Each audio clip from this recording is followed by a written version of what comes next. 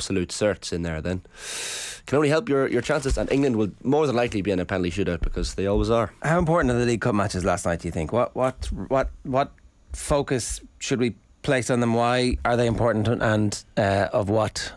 Well, if you saw City's starting team, you're thinking, well, there's a few strong players in there. But then you see their bench, and you're thinking, okay, well, if City are one or two nil down in this game, they're going to bring on the cavalry. They're going to bring on Haaland and De Bruyne out because they've won it four times under Pep. Yeah, so Pep, Pep, loves to win Pep, it. Pep obviously thinks there's something in the, like the culture of winning the League Cup. He wasn't. I think Mourinho was the same, wasn't he? Yeah, He always- trophies. It's just trophies. Well, uh, you know, you get to add an extra finger when you're like, you know, This is how many trophies I Yeah. won.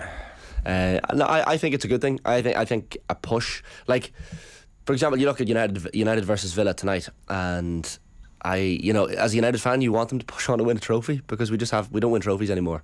Um, but Villa are well, sorry, Unai Emery is a cup man, so he's going to go all out tonight. he's had a week. He, He's had a we week, can't expect him to do too much in a week. And he's, well, he has can't- United's number already, doesn't he? Can't be picking the same team that he picked at the weekend. No. maybe he can because there's only two games before. Yeah, know, yeah, maybe yeah. You can pick your full team for this. Exactly, it's kind of different than, than an ordinary would be. Yeah. Uh, look, I, I think there should be a focus placed on it. Liverpool were, were lucky to, to scrape through last night, but then again, that's how they've done it. You know, even last year they did it and, and scraped through and penalty shootout in the final itself. Um, I think I think managers are playing placing more of an emphasis in the League Cup now than they used to be. Um, because of that thing, because trophies are important, because they need to get that name on their list on their Wikipedia page, uh, and, and you look at some of the, the starting lineups last night, not bad, and Yeah. still a few shocks as well. Spurs are out. Yeah, Spurs are out. So City beat Chelsea by two goals to nil last night. Um, I think maybe for Potter it was more important than it was for Pep. Is, uh, I'm going out on a limb here with a hot take this morning that uh, Potter needs some wins urgently in a way that um, Pep Guardiola might have a bit more credit in the bank. Yeah, what like if you're if you're Graham Potter, you're thinking right. This started this started very well at Chelsea. Yeah, then all great. of a sudden you have the Brighton game recently, and We're, we'll talk a bit more about this in, in a minute because I've, I've buried the lead. The biggest story in world sport happened in the last 24 hours. Yes. What happened? Jimmy White, Jimmy White. the whirlwind. Uh, he changed his name to Jimmy Brown for money. Remember he, He did. that? Anyway, we'll, did. we'll skip over that one. yeah, yeah, yeah. James White. Uh, yeah, it was for Brown Sauce Company, wasn't it? HP. Um, HP. Yeah, yeah. There are other brand sauces, but that's yeah. the best. Yeah, we chef's all know it. No, chef is best. Um, so he last won the UK Championship 30 years ago, Jimmy White. He's now 60 years of age. Um, yesterday, we were talking about him yesterday in the show, but he still had a qualifier to go against Dominic Dale, who's a good player. He beat him 6 1. He kicked his ass, basically, Jimmy White last night. Uh, that to follow up the win against Stephen Maguire, who's a brilliant player, and then a white a couple of whitewash wins as well against lower opposition. Uh, he's the the last player in age in their sixties to reach the UK Championship proper was Eddie Charlton in 1993. I mean, Jimmy White first competed in this tournament back in '81. Wow. Um, Neil Robertson tweeting yesterday saying this is one of the greatest achievements ever in our sport. The fact that someone can at this at this age reach the tournament proper. And the UK Championship is one of the Triple Crown events, along with the World Championships and the Masters. It's one of snooker's top events. The York, uh, the Barbican Theatre in, the, in York next week is when, when it happens. Sean Murphy, I think he's drawn. Uh, Sean All right. Murphy of, of this parish of Dublin.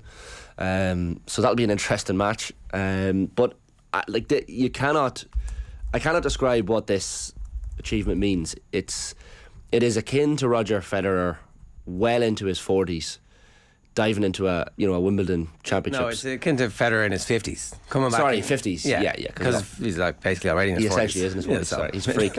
uh, like it's it's probably like I don't know what how it compares to other sports, but you know Padraig Harrington pushing in a major right now in his early fifties. Yeah, I still don't think it's the same. It's better. Yeah, it's better. Yeah, yeah. Because like Tom Watson nearly won the Open, and he was a gazillion. Yeah, well, that's fair. Uh, like, and Jimmy White's sixty, but he's playing so well at the minute. Like, he, he takes part in the World Senior Championships. He won it in twenty nineteen and twenty. He's lost the last couple of finals. Um, but you know, Right. you, kind of thought. But the thing about Jimmy White's, We'll get him on. Go on. He still thinks he can win. I mean, the only way to lull yourself into getting into the Well, zone yeah. is to go. "Oh, I'll have a chance here. But you look at Stephen Hendry playing at the minute, and he can't. He can't strike a ball. Well, they need to find his broken cue. Well, this is it as well. Yeah. So Magic lost Cue. White. Right, it's 7.40. You're very welcome along to OTBAM. Ben Jacobs is standing by. We're going to talk to him right now. Tomás O'Leary is going to talk to us about Munster this evening against uh, South Africa selection at a park, uh, full Páirc Uí Chaoimh. Sports pages at half eight this morning. Craig Hope is going to talk to us about Newcastle specifically at 8.50. Gemma O'Connor is going to talk to us about her new book at 10 past nine. And we'll hear from Noel Mooney, ex FAI interim chief executive, who is now in charge of the Welsh FA and... Um, winning rave reviews for his job there. So anyway, at 7.40, I'm delighted to say Ben Jacobs is with us. Ben, good morning to you. How are you?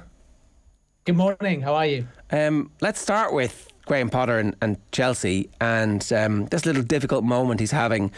I guess for him, the break can't come soon enough. There is the small matter of Newcastle before the break happens, though, which uh, I think is going to have a lot to do with the mood music that the four week break has around Stamford Bridge. I agree with you. We're still comparatively early in the season because we won't have all of the usual festive fixtures. But this game at St James's Park feels pivotal for both Chelsea and Newcastle as well in the race for top four. But from Potter's perspective, it's going to set the tone because Chelsea, with another loss, or even arguably that failed to win, enter into the international break because of the World Cup.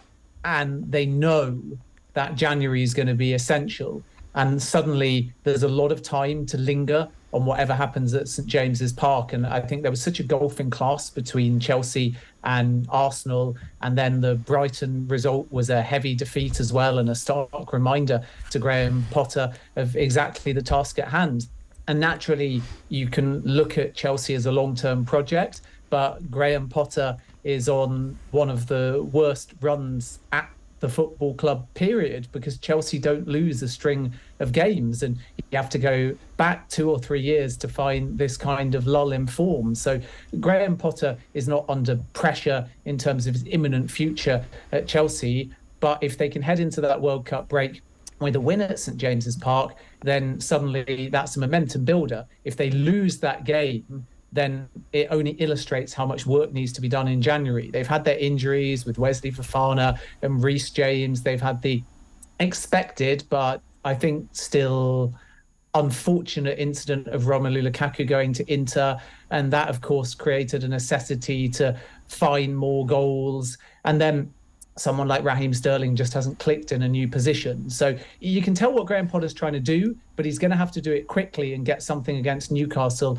Otherwise, Chelsea are obviously going to have a long, long period to linger over the fact that there's a very realistic possibility that they're not going to make the top four. One of the underrated things that maybe um, we forget sometimes in football is about the team dynamics, the dressing room, the importance of all that kind of stuff. We we, we kind of underplay it as like, well, a good manager's going to come in and just make sure everybody believes him. And and uh, but with a couple of defeats, when you're trying something new, it's easy for ill feeling to foment. And uh, if if you're you know somebody who has come in on big money, who's used to winning like Raheem Sterling, and things aren't going well for you, and suddenly you're dropping out of the England team, perhaps at a World Cup, it's not great for team morale. And I, don't know anything specifically about him, but I'm just using that as an example. And you can see how that could spread relatively quickly in a changing room. So it's not like he's under pressure from the hierarchy, but I'd say he must be feeling some pressure from his team to like, we're a really good team, full of players who won literally everything that there is in the game. What's going on here? Why are we losing to Brighton? Why can't we compete at the level that we're used to competing? Yeah, and I think a lot of that is down to the turmoil at the club, both good and bad. Ultimately, Chelsea came off the back of sanctions, a very speedy sale that impacted the club in terms of transfer windows because they couldn't move in January. They didn't know where they would stand towards the beginning part of the summer. And then Todd Boehly and Behdad Eghbali from the majority owner Clearlake Capital have come in and they've changed the board. They've assumed titles within recruitment.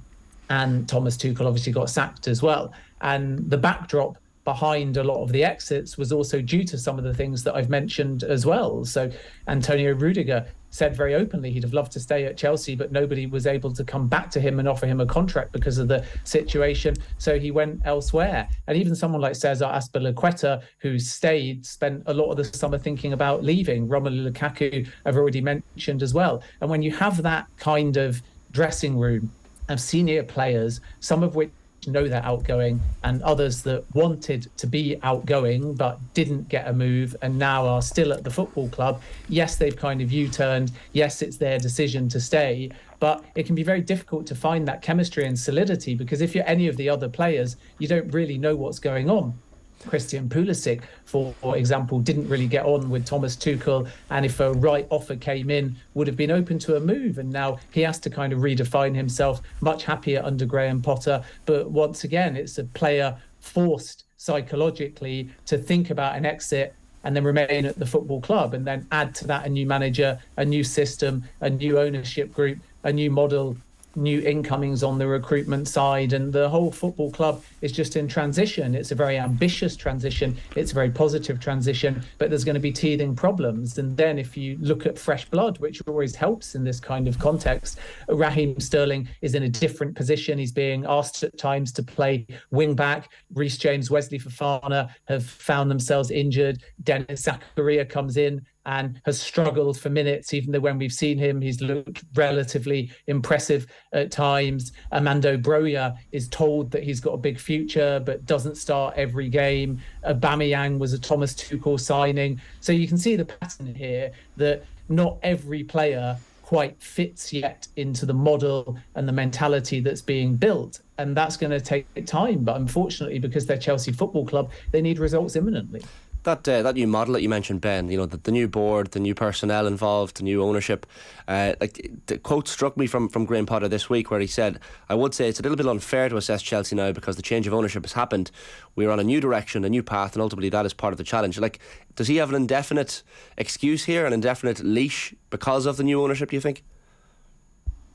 I don't think an indefinite leash, but certainly he's entitled to get through a full season and stamp his mark. And I think beyond that, even if Chelsea don't make the top four, there'll of course be fan outrage and questions being asked. But my understanding remains that this ownership group will be patient. It is very easy at the moment to see them as impatient because within a couple of months they've changed almost everything. But now they've made their decisions. I think Graham Potter was seen as a fit and a fit for building a model and also a fit for working within a new way of recruiting specifically for Chelsea, regardless of that broader multi club model. And with Thomas Tuchel, the problem was not his pedigree or his talent as a coach, it was his relationship with Todd Boehly and Behdad Eghbali. And they fell out during pre season. And Thomas Tuchel didn't like how closely the owners, whether they had their owner hat on or their recruitment hats on, were involved within the football, whereas Graham Potter is quite happy to see what Chelsea are building and allow some kind of control and power to others within this so-called recruitment team, which is obviously still being built. And in that context, he's the right fit. So naturally, if Chelsea just keep losing a string of games, how many can you lose before you are sacked? That's just football. But it's far too early and unfair on Graham Potter to be thinking on those terms because we've only seen flashes of what he can do. But this again is part of the appeal of Potter, but also the risk of Potter. The appeal comes in his affability and in his man management and in his desire to build the club model. But the risk comes in the fact that he's never managed a club of this stature. So if you had a manager that already had the pedigree and things weren't going right, then perhaps fans in particular would say, We understand what you're trying to do and we'll give it time. But some will say, if Chelsea keep on losing, that Potter specifically, because of that inexperience at a club like Chelsea, is to blame. And that adds even more pressure. Yeah, I think it's unfair, but it's just the reality of football. No, it's a really interesting situation that they find themselves in. And um, I think people wish him well. Uh, one thing you mentioned there, Aubameyang obviously was a specifically a, a, a Tuchel signing.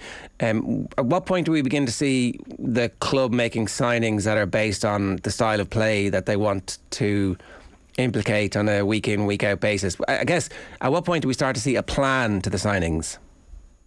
I think the plan in terms of the signings was actually there before Graham Potter in the sense that Chelsea need to sign out of necessity. So you could make an argument that Graham Potter would have enough for his style and his plan if everybody was fit, but they're not. And again, that's football and it's partially down, no doubt, to the congested fixture calendar as well. So Reece James, Wesley Fofana would obviously be integral at the back. And then Romelu Lukaku had already gone because of his relationship with Thomas Tuchel to Inter long before Potter came in. And yes, they got Aubameyang, but there's other targets, and Nkunku being one of them. But the plan ultimately is and was that Chelsea need a defender more and also need to significantly revamp their midfield. And then if they can get a planned striker over the next window or two, then Graham Potter will have the depth and talent. So the specific names may change, which is why, for example,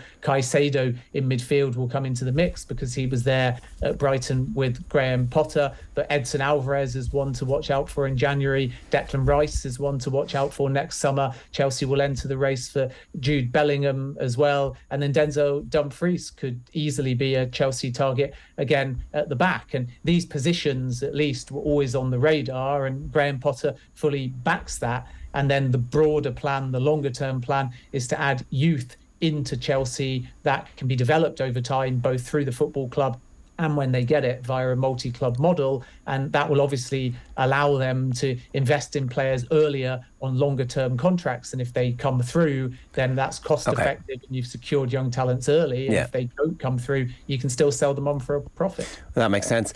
Um, I guess that's the, the, um, what City have managed to do uh, with some of their players coming through, and it's going to be interesting to see how that evolves over the next few years as well. So, uh, on balance, um, the hierarchy at Chelsea are relatively patient. They'd like to see some uh, results, but it does it does definitely make this Newcastle game really, really important, even in, in the race for the top four now. Is there a world in which they don't qualify for the Champions League and the hierarchy still says, okay, Potter, we, uh, we you know, we're, we're not very pleased with this, but we're going to stick with you?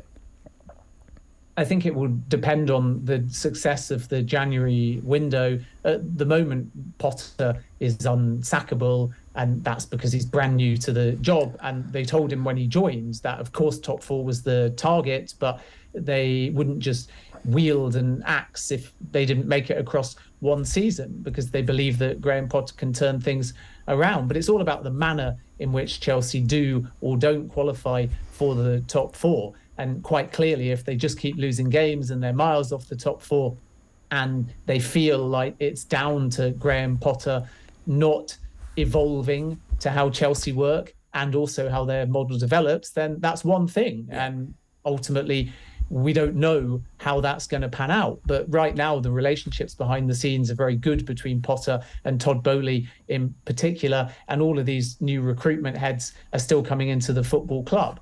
But again, you have to look out for in January in particular what Potter is armed with. Because if three or four players of quality come in and Chelsea have a bigger window than most, and they will have played less games comparative to usually a busy festive period, then they'll have plenty of time to turn things around. And then if they get to the end of the season and Chelsea are not in the top four, then Graham Potter assumes more of the accountability because he's had a January window and he's been backed. Whereas right now it's Thomas Tuchel's window and it's Thomas Tuchel's side and it's an injury hit side and it's a new model and it's a new ownership group, which is why there's no danger that Graham Potter is going to go at this point. But it's all about the manner, as I say, in which they either do or don't qualify for the top four. And no doubt that will be assessed come the end of the season. Uh, ben Nathan Jones was, was watching Southampton beat Sheffield Wednesday last night on penalties in the in, in, the League Cup from from the crowd, and I know he takes charge for the first time at Anfield on on Saturday. No better way to start off your tenure uh, as a Premier League manager. Um, for maybe people who haven't been watching his Luton side in the Championship and aren't familiar with him, he's got the, the dreaded highly rated tag. But but what can people expect when he takes charge of Southampton? I think that he's a very passionate manager. He's a tactician. He obviously reached a playoff final, which he lost with Luton, which was an incredible achievement. He'd also got them promoted up to the championship as well. So all of the stuff we've seen from Luton is very positive. I think the only question mark is around that unsuccessful nine months in charge when he went to Stoke in 2019 and then he was sacked and ended up going back to Luton in May of the following year. And Luton at the moment are ninth in the championship. It's obviously a very tight division, so they're only a couple of points off the playoffs. So I think Southampton fans will be hoping he makes that transition up to Premier League football. And he's been appointed because Southampton believe that he's a motivator. He's somebody very capable of being versatile in terms of his tactics. He will get Southampton disciplined. And they also believe if a dogfight is necessary, and that is looking likely at the moment from Southampton's perspective, then he's the right man for the job. But it's going to be really difficult. And I think one of the key reasons why they like him is because Southampton have got a lot of youth coming through. Everybody obviously talks about Lavia, Bazunu, the goalkeeper as well, Larios, the fullback too. And this was all part of a strategy by Hasenhüttl to some extent, but also Joe Shields, who obviously only had a short tenure at Southampton as their director of recruitment and then ended up leaving for Chelsea. And Shields tried, because he'd come from Manchester City, to bring in youth and give Southampton a future in terms of box office young talent, Lavia being the main one, that could really help Southampton play a more attractive style of football and have consistency over six or seven seasons with the talent that they bring to the football club. And then obviously Shields left, and Hassan Hasenhüttl kind of fell out with him and felt like the side was too young and lacking in experience. And Broja had ended his loan spell at Southampton and gone back to Chelsea. And Che Adams, even though he has some potential, hasn't really been a huge source of goals. And Romeu obviously isn't there either. So there's a few problems that Jones is going to have to inherit, but the main one is that he's going to have to get the best out of a lot of young players and quickly, otherwise Southampton can be in big, big trouble. So it's a risk reward appointment really it's a manager that doesn't have premier league experience but has all of the right attributes as a coach to get southampton out of trouble yeah I, some good team is is going to get sucked into the relegation battle because uh, it's the first time in many years where you can't automatically say that team and that team are going down, and even the teams who are in the relegation zone could be relatively big spenders uh, in the uh, January transfer window. And also, who knows what the hell's going to happen with regards to the players who go to the World Cup and what kind of physical and mental state they're going to come back in. So um, there's a lot up for grabs at the moment. One last thing, I know you've been looking at the uh, World Cup squads, um, uh, particularly the American players who are going, but is there anything that strikes you from um, the last 24, 48 hours as the squads start to come out about which of these teams is in better health or worse health than we might have thought Uh, six months out? 12 months out? I think the French squad was relatively expected.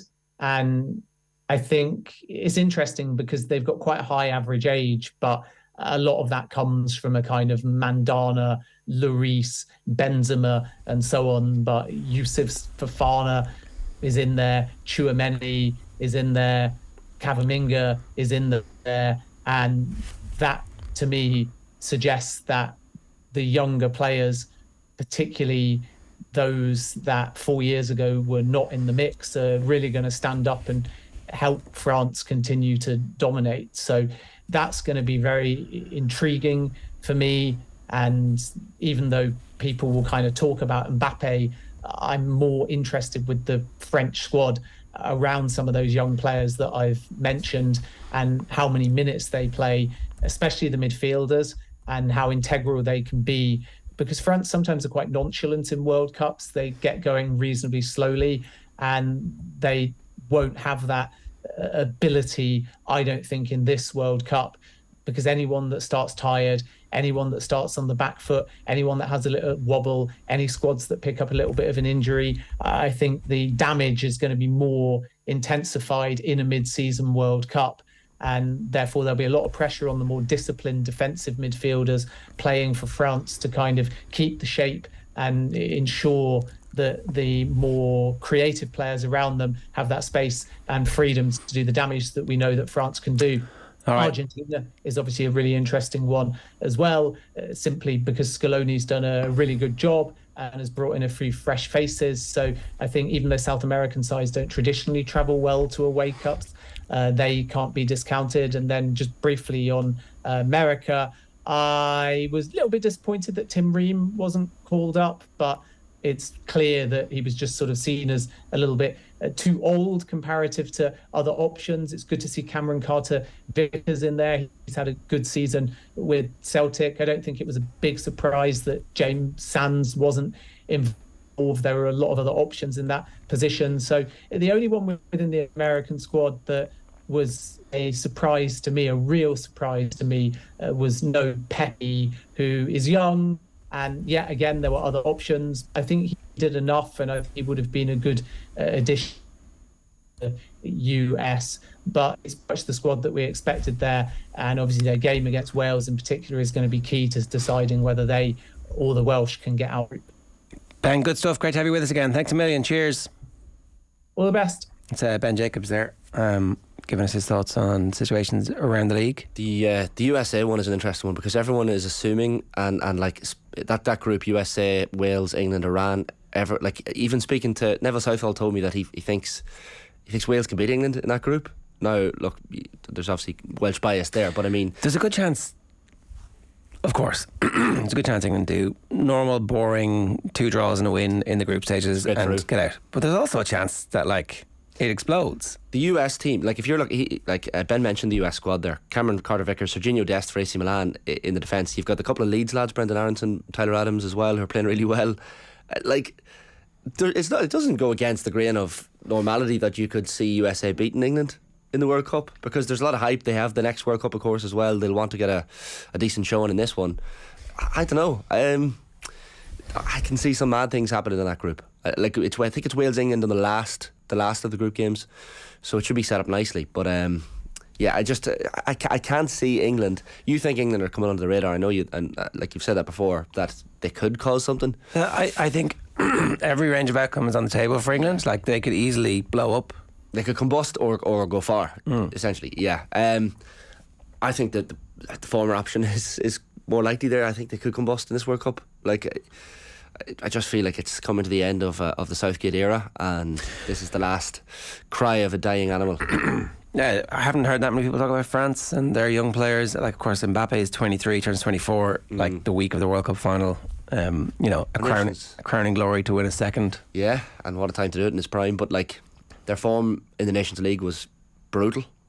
Um, not that form necessarily matters, I, like, I, but I think in this World Cup, nothing matters except how you deal with the heat in Qatar. I- I've ne- I, I can't remember a World Cup where everyone is writing off the European teams so so willingly and willy nilly because everyone's looking at Brazil or Argentina.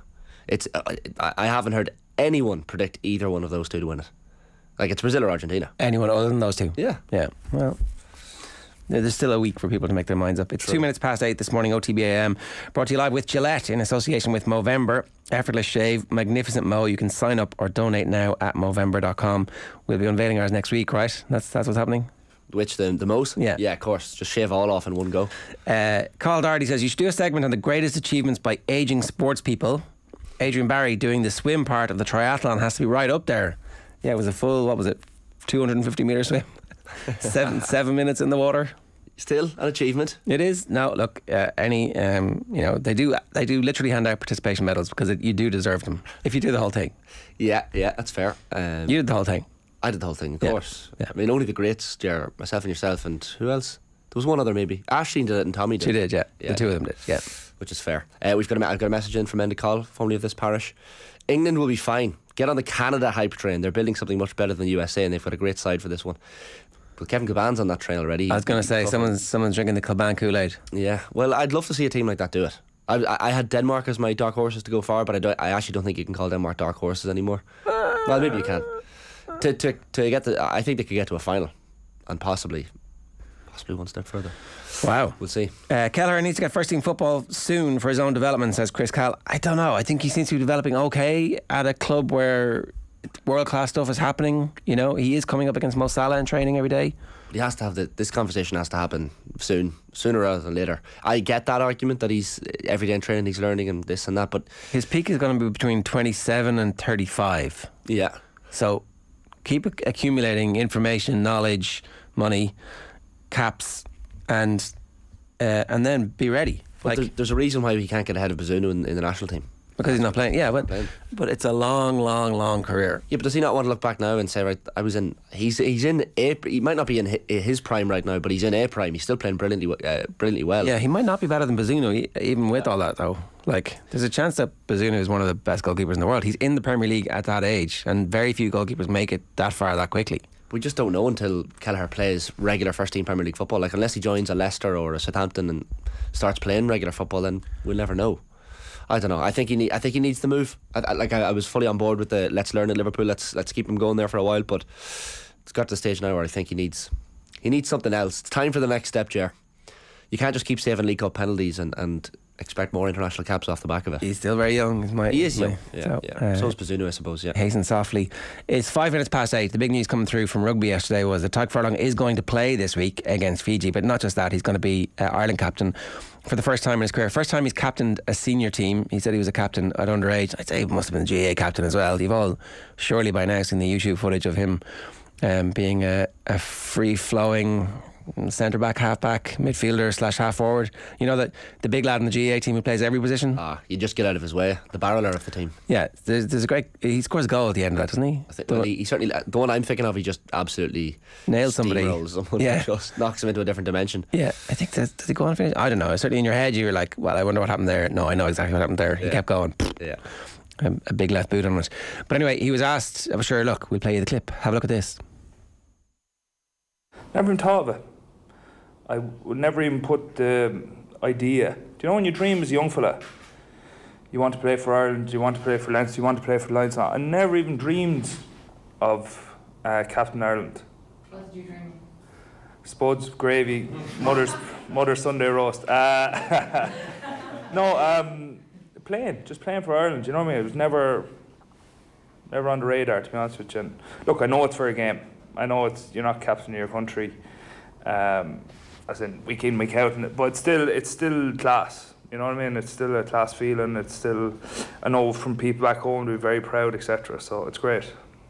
Do you think that's why you're um, as successful as you are? Obviously, you have so much talent, but having this attitude of just sort of not having too much pressure on yourself and just going out and play. No, I, like I don't know if I come across that way, but you would. I do put pressure on myself to play well. You know, um, and there's a lot. There's a lot in that area. So, um, I'd like to think I have a fair old understanding of, or through the years and amount of years I've played rugby, more so than Anton really about how, how my mind works, how my body works, what I need to do in the, the week to, to feel confident going into a game. That's probably as much as Anton really. It's uh, Ireland captain Tadhg Furlong. Sounds good, doesn't it? Sounds sounds right. Sixty second cap. I mean, he's uh, he, he so, so deserves that. I, what was refreshing for me yesterday watching that clip was was how open and honest sometimes a players handed the captaincy of their country and they're like, oh yeah, look, it's a great honour, blah blah blah.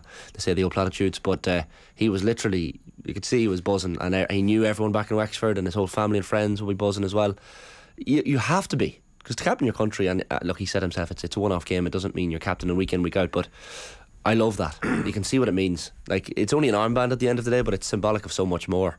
You're leading your country out in a in a game, and like that's the it's the pinnacle of his career so far. And that this is a man who's been a Lions first. You know, I think this is the this is the pinnacle Uh, individually.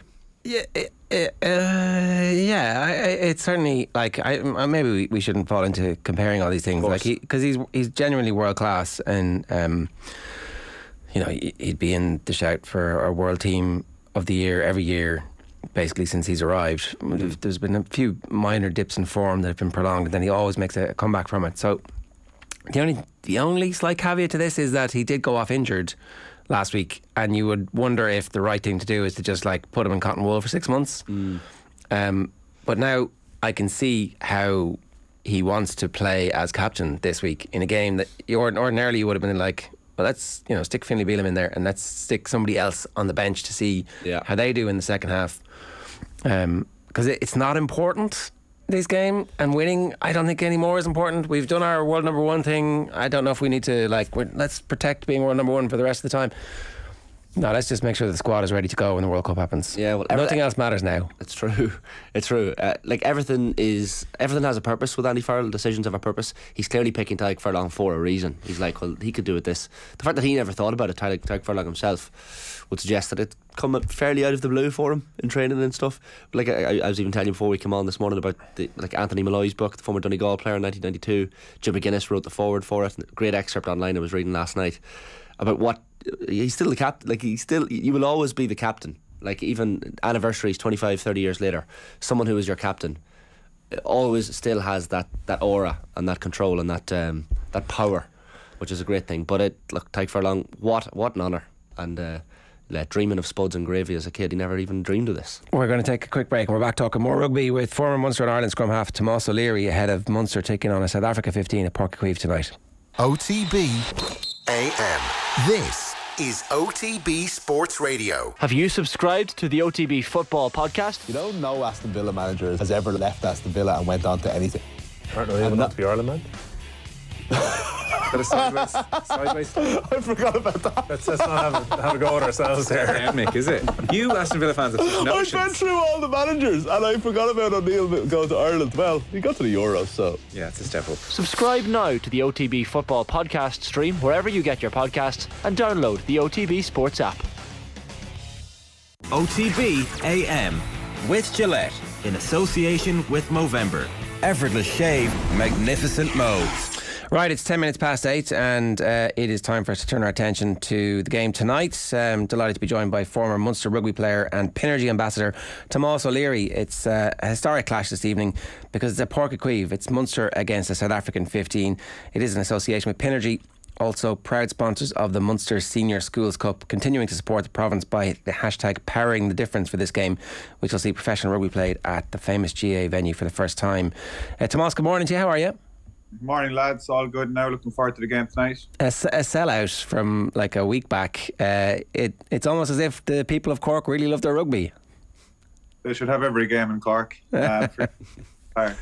No, look, Thomond Park's obviously going to be the home of Munster rugby, but you know, nights like tonight um, will illustrate that you know there is a there's a hunger and there's a demand for for games in Cork, and hopefully the, this is the first of many. You know, we hopefully might even end up seeing quarterfinals, semi-finals of European Cup games, and the big Leinster Derby games around Christmas. It'd be great to have them down in Cork. So yeah, look, I think it's a great occasion for for Munster rugby, Cork GAA, and, and the people of Cork. So looking forward to tonight, and hopefully we can get the fixture that uh, that the you know that the occasion warrants. It's funny how we go full circle in this whole thing because um, there was definitely a period of time where it felt like the players in Munster felt like having two separate training bases and uh, half the team based in Cork and half the team based in Limerick wasn't great.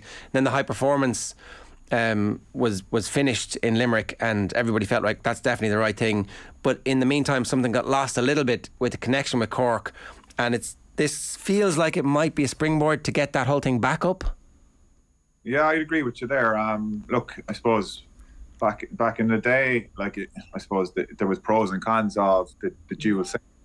Um, I suppose we made it work. You know, it almost brought a freshness to the to each training session. You know, when you meet the Limerick lads, there'd be a bit of slagging, of competition between the Limerick and Cork camps, and uh, you know, used to meet each other to tell the stories about what was happening down in Cork and Limerick, um, and it was it was just good crack. Um, obviously, we couldn't train as much together, so I suppose that was the major con, but um, it just added a freshness to the dynamic and, and, and it seemed to work. Look, obviously, professional rugby probably has evolved and the demands of professional rugby have evolved since then. We see that with the with the way the game has been played. So, look, I don't think you probably could have a, a dual centre anymore. Uh, but look, yeah, look, the people of Cork, I suppose we do get our games down here in Musgrave Park, but generally, um, they're, they're, they're what are, are, if we're honest, they're lesser fixtures.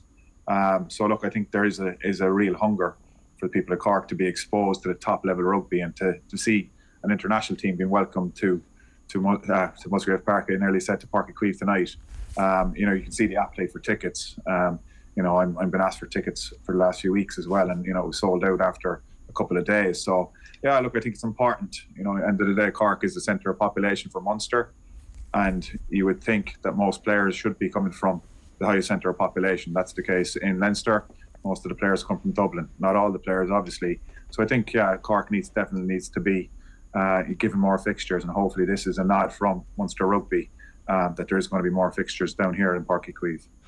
it's, near, it's nearly highlighted that even more, Tomás. Like this, this fixture, the fact that uh, there is so much GAA talent as well as rugby talent down in Cork, and, and you were one of those people with the All Ireland minor hurling title as well. And for, for people like yourself and Darren Sweetnam, you probably had that crossroads when you when you were younger. You've got two red jerseys, both steeped in tradition, and you've got to make that choice. Um, and I guess the lure of professionalism sends a lot of people towards rugby. But games like tonight, you know, a massive Munster game in, in Páirc Uí Chaoimh of highlights that for a lot of young players, yourself included, there was a decision to make. Yeah, look, they're exactly that. And look, I suppose, as you said, I grew up in uh, in a hurling a hurling household, and the, the only jersey I wanted to wear for a majority of my my my youth was the Blood and Bandage of Cork. Uh, I wanted to emulate my father, and I suppose emulate great players that have gone on to win All Irelands in the past. Um, you know, and I suppose the old the old saying now, if, if you can't see it, you can't be it. So like I'm bringing my my seven year old to the match tonight, and you know I think that might, you know, those experiences they leave they leave an indelible impact on young kids. So if he's at a packed out Páirc Uí Chaoimh seeing Munster players play against the likes of South Africa, um, that leaves an imprint on his mind, and you know that can focus him. So, you know, he will be exposed to other sports. He will be exposed to GAA and soccer and a few more. And it's those experiences that will guide him and will, I suppose, make him, uh, you know, select a sport down the line. I think players and kids play as many sports um, till as late as they can, and obviously, if they're good enough, they'll be fortunate enough to have a, I suppose, have a decision to make. And I was lucky that I had gone on to see Munster play in European quarterfinals, play in European semi-finals. You know, I was looking up to the likes of Ron O'Gara, Paul O'Connell, all these guys, and I wanted to be part of that. Yes, I want to be a professional rugby player, but I wanted to be part of that team. I want to be play with those guys and and I suppose stand for what they stood for. So it's not just the, the opportunity to be a pro professional athlete, it's the opportunity to experience occasions like that and play on occasions like that. So that's why I think it's very, very important for young Cork kids and, and, and Cork families to be exposed to high level rugby and top level rugby. I was talking a little bit about this, and it was kind of more instinctive than anything based on evidence yesterday. That uh, it feels like Munster it's far more acceptable for you to be a fan of everything. Um, whereas, like uh, sports fandom in Leinster is a bit more segmented. There are Dublin Gaelic football fans and there are Leinster fans. And there's some crossover, but there's not as significant a crossover, I would argue, as there is between Cork hurling fans and Munster rugby fans. It just seems as if it's totally accepted. You're a Cork hurling fan, you're also a Munster rugby fan, and there's no real division. Maybe around the fringes, there's some areas of division. Is that true? Am I making that up? Uh, well, certainly uh, true in, in, the most part. Look, like you said, there is there is a, a certain uh, element that just focus on one one sport. Um, but yeah, look, I suppose, and a lot of people will be members of GAA clubs and rugby clubs. Um, so look, I think yeah, look, as you said, it's not just GAA, it's not just soccer, it's not just um, you know the traditional rugby sports down here. You know, you got you got a lot of different athletes who've come here. Obviously, Sonia Sullivan, Rob Heffernan. See, the soccer influence is very big um, in terms of Roy Keane, so the Roars down in West Cork. So it's a very broad, um, I suppose, sporting interest, and that's something we're, I suppose, proud of down here. And I think, it, like I said, I think specialisation in sport from an early age, and look, there's been a lot of different, uh, I suppose, studies done in that. But I think the more sports you can play, the broader, I suppose, influence you can have, the more skills you learn, and that's just not not just that's not just in terms of the actual skills themselves; it's in terms of strategy, and it's in terms of spatial awareness. So I think all those skills develop a kid and socially as well. Um, they're not so focused on one sport, not so concentrated on one sport, and there's probably less pressure. So look, I think certainly Cork people support multiple sports, uh, but Munster Rugby definitely is up there, and Munster Rugby is a special place in, in I suppose most people, uh, Cork people, and that's why it's important that you know Cork people don't have to always travel to Limerick, don't have to yeah. always go abroad to see them. So you know they can they can finish work, go for a pint, and, and stroll down to Uí Chaoimh. I think the more things we can provide for, for Cork people, the better. Yeah. Uh, the reason I was talking about it really was because I, I believe very strongly that Cork GAA has a very progressive CEO who's doing really great work and has managed to transform the club championship and get it into, uh, you know, with the support of many people, it has to be said, but get it into a situation where you're starting to see the underage players come through to senior club ranks, and it'll be very interesting to see over the next couple of years how the senior teams do.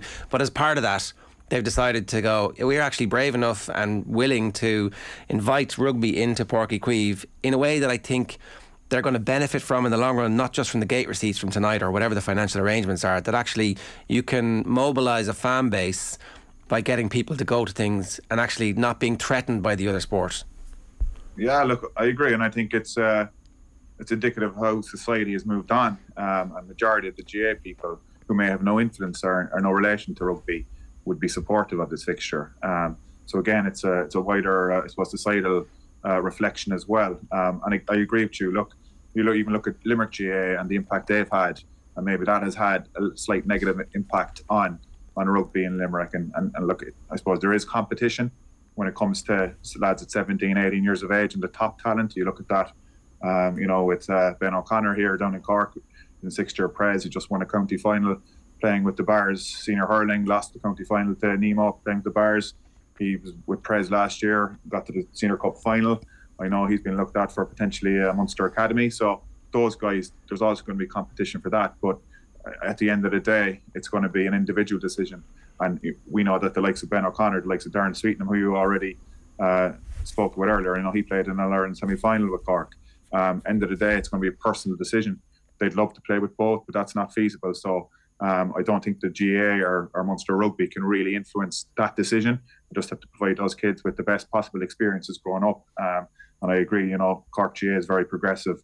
And now it's up to Munster Rugby, which um, tonight's fixture is an illustration that they're progressive and they, they're keen to have top level rugby played in Cork.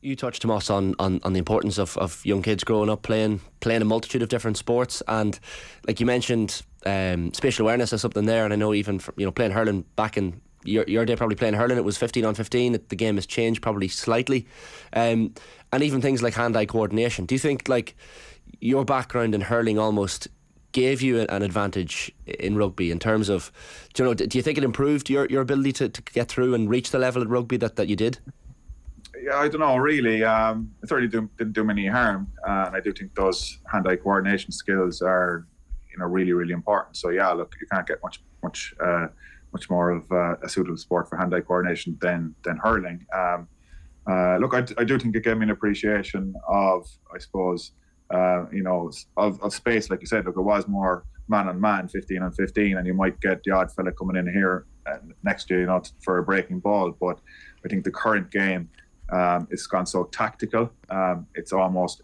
like rugby. I was speaking to a few a few rugby coaches during the week, and like rugby is so nuanced, um, so tactical now. Um, that it's a, it's a really really enjoyable game to coach and Gaelic football is getting so possession orientated even now hurling you see the Limerick team and you see other teams you know it's all about possession and how to create space for inside forwards and, and the movement off the ball and, and the movement to get on the ball and shorter passes so that's becoming more more nuanced as well. So coaching and hurling, coaching and football is becoming, I suppose, uh, it's catching up with rugby, becoming as as strategic. Obviously, you won't have the set piece if, you, if you don't consider puck out set piece. Um, so it's it's certainly there is elements that are, are, are becoming very, uh, I, I, suppose, uh, very similar. Um, but the hand-eye coordination probably is probably the biggest piece. Look, end of the day, if you can if you can catch a sliotar from 70, 80 yards, control it on a hurley and stick it over the bar, that's certainly going to benefit your ability to, to catch a rugby ball or to pass a rugby ball. I think so. Yeah, I definitely think that as many kids should be should be playing as many sports as possible. Obviously, when these fixtures happen, the Ireland players are away and uh, they're not considered for selection. So you know, you would kind of think, oh, it's not necessarily Munster's strongest team. But then you see the team named, and it is still a really strong, exciting team with that sprinkling of incredible youth and some experience in it as well. So, what, what level of performance do you expect from, like, just to go back to Rowntree, has said he's not going to let the players out onto the pitch for the first time. Obviously, the kickers will be there, but like, not everybody's going to go out and see the crowd until they actually go out. So, it's going to be like the place is going to be on fire. Uh, what, what level of performance should we expect from Munster tonight? I don't know. Um, I suppose Munster has struggled, if we're honest, at the start of the season. Um, and I think this is an opportunity, almost a free shot. Um, pressure is off these guys. You know, there's no league points. There's no, I suppose, the negative discourse that is around Munster rugby, and you know, will they qualify for the Champions Cup? Um, the new coaching ticket is taking time to, to, to bed in their ideas. Um, you know, this is a separate fixture. This is a standalone fixture. Um, Munster have a chance to to knock uh, an international 15 off their perch, the world champions. I know it's not their first side, but it's a really, really strong uh, South Africa select. So um, I suppose this this is just giving this Munster team basically a free shot and the motivation. Hopefully, like you said, the atmosphere created by the Munster fans. That's going to give give this give this Munster team an impetus, a motivation, a bounce that hopefully will bring an energy. And I think even though rugby, as I said, has become a lot more strategic and tactical, um, you know, when you have that physical motivation, when you have that, um, I suppose, that physical prowess or, or, you know, that extra 10, 15% that an atmosphere like tonight can provide, you know, I think that is powerful. Uh, and we all know that Munster will need to be physical tonight to stand up to how South Africa are going to play the game. So if Munster can can have that kind of, uh, I suppose, that it's, it's hard to gauge, but you know when a team is at it physically, uh, and I think everything else will flow after that. So hopefully, you know, uh, it'll be interesting to see the likes of Frisch coming in in the centre, uh, and you know, Paddy Patterson. Looking forward to seeing him at nine. You know, can he manage uh, a Munster team around the park? Can he dictate the tempo? um, in a night like tonight. Looks like it might be be uh, be wet and, and, and windy down here. You know, playing at half seven at night, ball's going to be dewy uh, anyway, so you're not going to be able to play a lot of rugby early days against this hard pressed South Africa defence. So look, it's going to be very very interesting as to how Munster approach the game. But I definitely think occasions like this, um, you know, they're standalone fixtures and players are not going to be thinking about the league. Players not going to think about Irish rugby. It's trying to create history for this Munster group, and hopefully that can create a powerful um, bond within the team and give them a real jump tonight. Talk to us about the nines, will you? What what have you seen about uh, Patterson that you liked, and what are the bits that he needs to work on? Um, well, I suppose I haven't seen a whole pile really thus far this season. I like his tempo, um, but you know he can only have tempo if he gets front foot ball.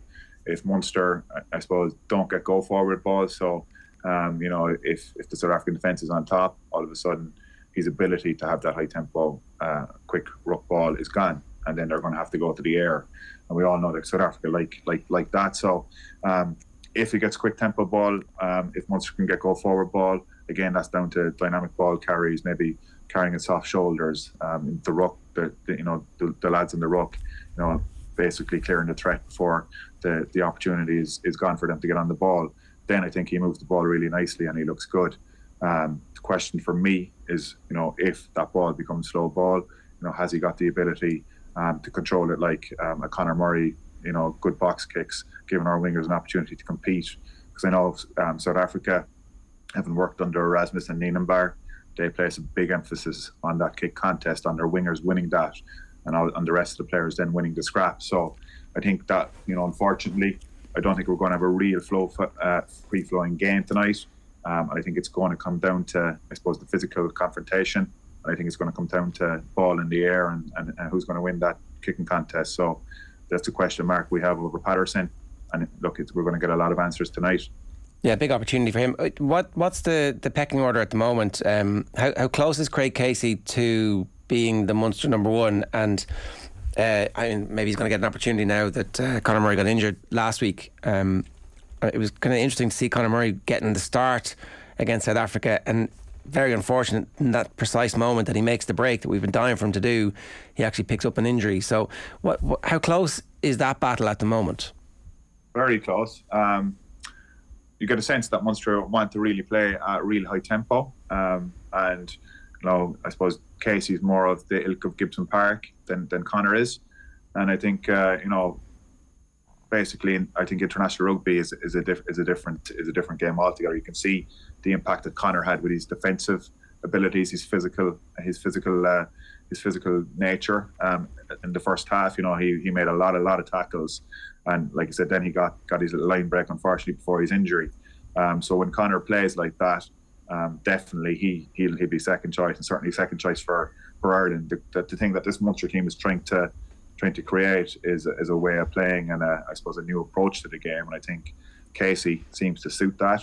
Um, Munster just haven't quite clicked into gear yet. Um, I suppose they're getting used to new new strategy, a new a new uh, a new way of playing the game.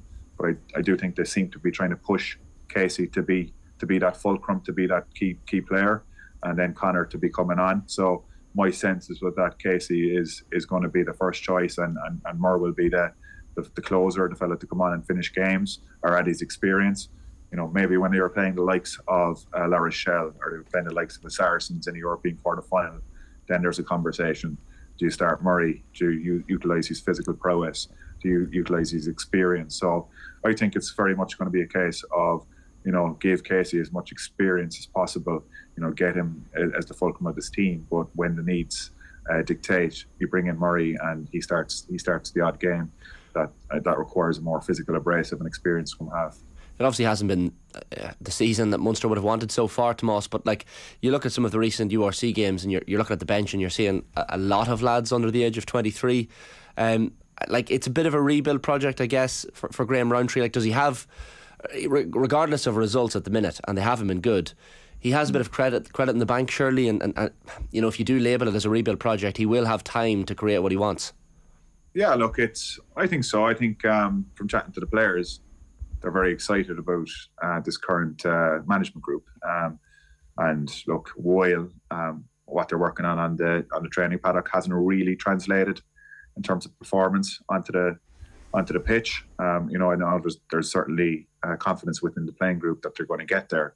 Um, like you said, look, the, the players that, that are coming, uh, getting opportunity to be exposed at, at the top level, uh, and and the age profile of that is exciting for for Munster rugby, and I think like that, so the the emergence of, of some young talent, and I say the fixture like tonight, I think there almost is a bit of an apathy developing, you know, uh, regarding Munster rugby, um, you know, from from media, from ex players, from supporters, um, or certainly there's perception that it is. Um, fixtures like tonight maybe can give the opportunity for, you know, the bond between supporters and players, something that Munster was always really, really, um, I suppose, famous for. If you could have a fixture tonight and a, a performance tonight from the players, then you think you can get that that that bond will be re-strengthened, that bond will start to re-emerge. Um, you know that symbiotic kind of relationship between the players and the and the fans. You know, one needs to, one needs the other uh, in order for them both to perform at the highest level.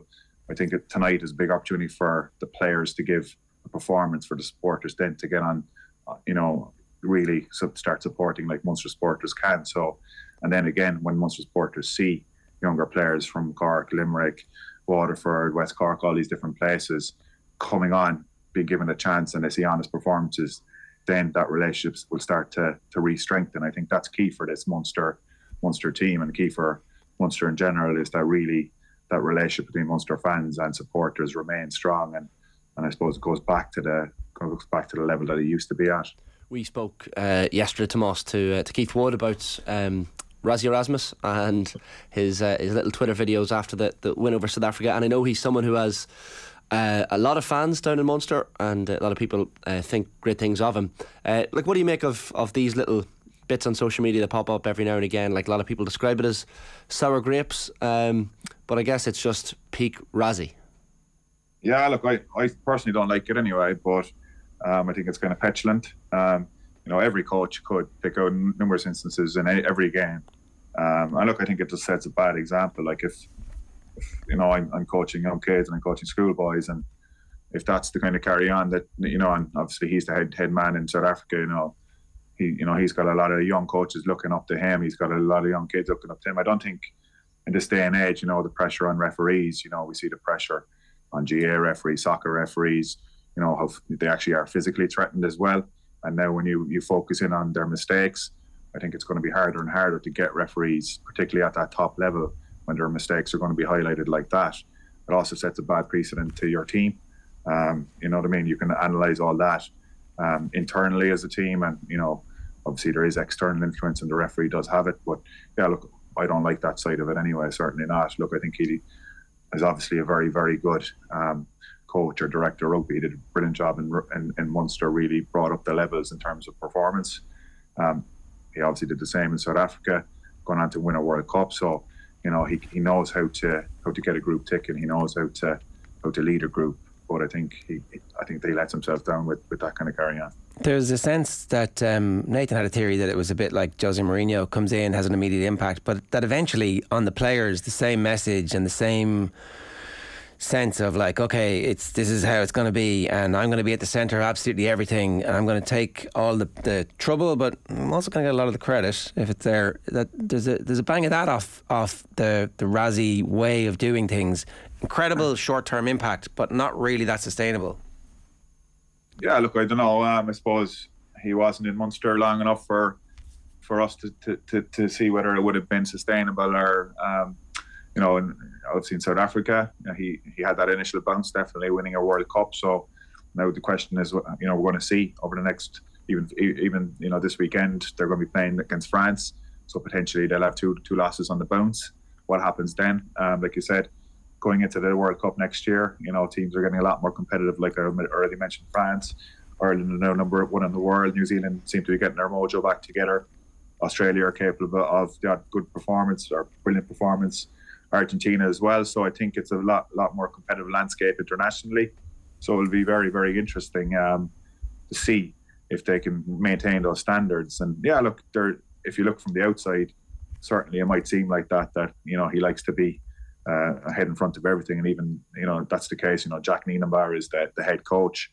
Yeah, most of the I suppose the conversation and is about Erasmus all the time. So uh, potentially you might be right in your assertion there. Right, good stuff, Tomás. Uh, what's going to happen tonight? Give me a, give me a prediction. Uh, hard to know. Probably South Africa, but I'm going to have to have to say Munster. To, to these fixtures always seem to, to bring performance, and, and hopefully this is the performance that Munster need to kick on and, and get their season back and back and going. Yeah, it's a real opportunity for them. Great to have you with us, Tomás. Thanks a million. Cheers. Cheers, lads. That's uh, Tomás O'Leary there, uh, Pinergy ambassador, um, ahead of the game tonight. Now, OTBAM brought you live with Gillette in association with Movember Effortless Shave, Magnificent Mo. You can sign up or donate now at Movember.com. Uh, Bobby Dwyer says, with Hugo Lloris coming to the end at Spurs, I'd take Kelleher at Spurs in a heartbeat to replace him and be the number one for the next 10 years. I couldn't see Liverpool selling to us, though.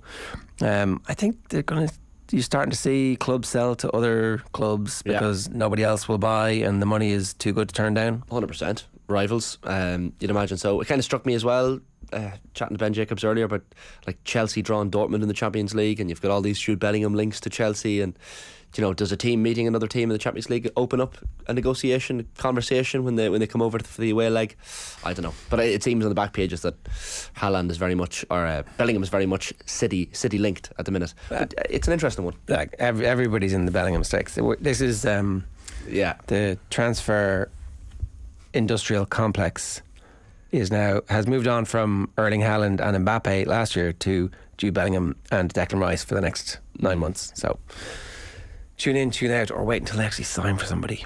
I say that, and we'll do like 15 pieces on uh, where Jude Bellingham would fit in at uh, Manchester United slash Liverpool slash Manchester City slash Manchester United slash Chelsea.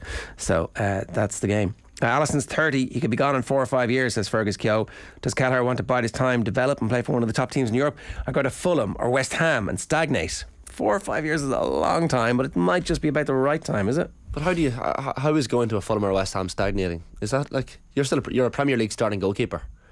Like uh, you never play in the biggest games. Yeah, but so how how like maybe you go on loan for for a year or two, see what happens. Come back to Liverpool when Alisson's uh, career is over. Bob Kel- Bob's onto something there. like. Kelleher's 23. He'll be 24 this month. 24 this month. Yeah, so in five years' time he'll be 29, which is not late. You know, you can still, but uh, you'd want you'd want to be getting first team football at 26, 27. That's what I say. Hundred percent. You need it. Like, uh, But that gives me three years to. But what's wrong? I just don't see what's wrong with playing for a Fulham or West Ham and making a career out of it. You're not playing in the Champions League games, of course. Well, because he might be a Champions League goalkeeper. He could Yeah. be, he could be Thibaut Courtois. He could be. He could be. Uh, but I just uh, you can't hold on for an indefinite period. Alisson has. In fairness, Courtois was getting his moves around the world to play the first team football. But there- okay, okay, try and get first team football at a Champions League. I wasn't. Somebody said he was offered to PSV at one stage. That was that was knocking around in the ether. Um, you know, Yeah, a little move abroad mightn't be the worst thing. well, a, a Spanish Champions League team, a Dutch Champions League team is a little different. I'm not sure. Could you go to Sporting? Nice, nice lifestyle in Lisbon. Yeah, yeah, hundred percent. Um, Or Benfica, they'd, they'd have a good transfer policy. Or go on loan for a season to a Champions League team and see what happens. life experience. Yeah, worst case scenario, you come back after a year and you've, you've played a bit of Champions League football. Nothing wrong with it. He has options, Caoimhín Kelleher. That's, He does. That's a good, a good thing. He does. All right. Uh, okay.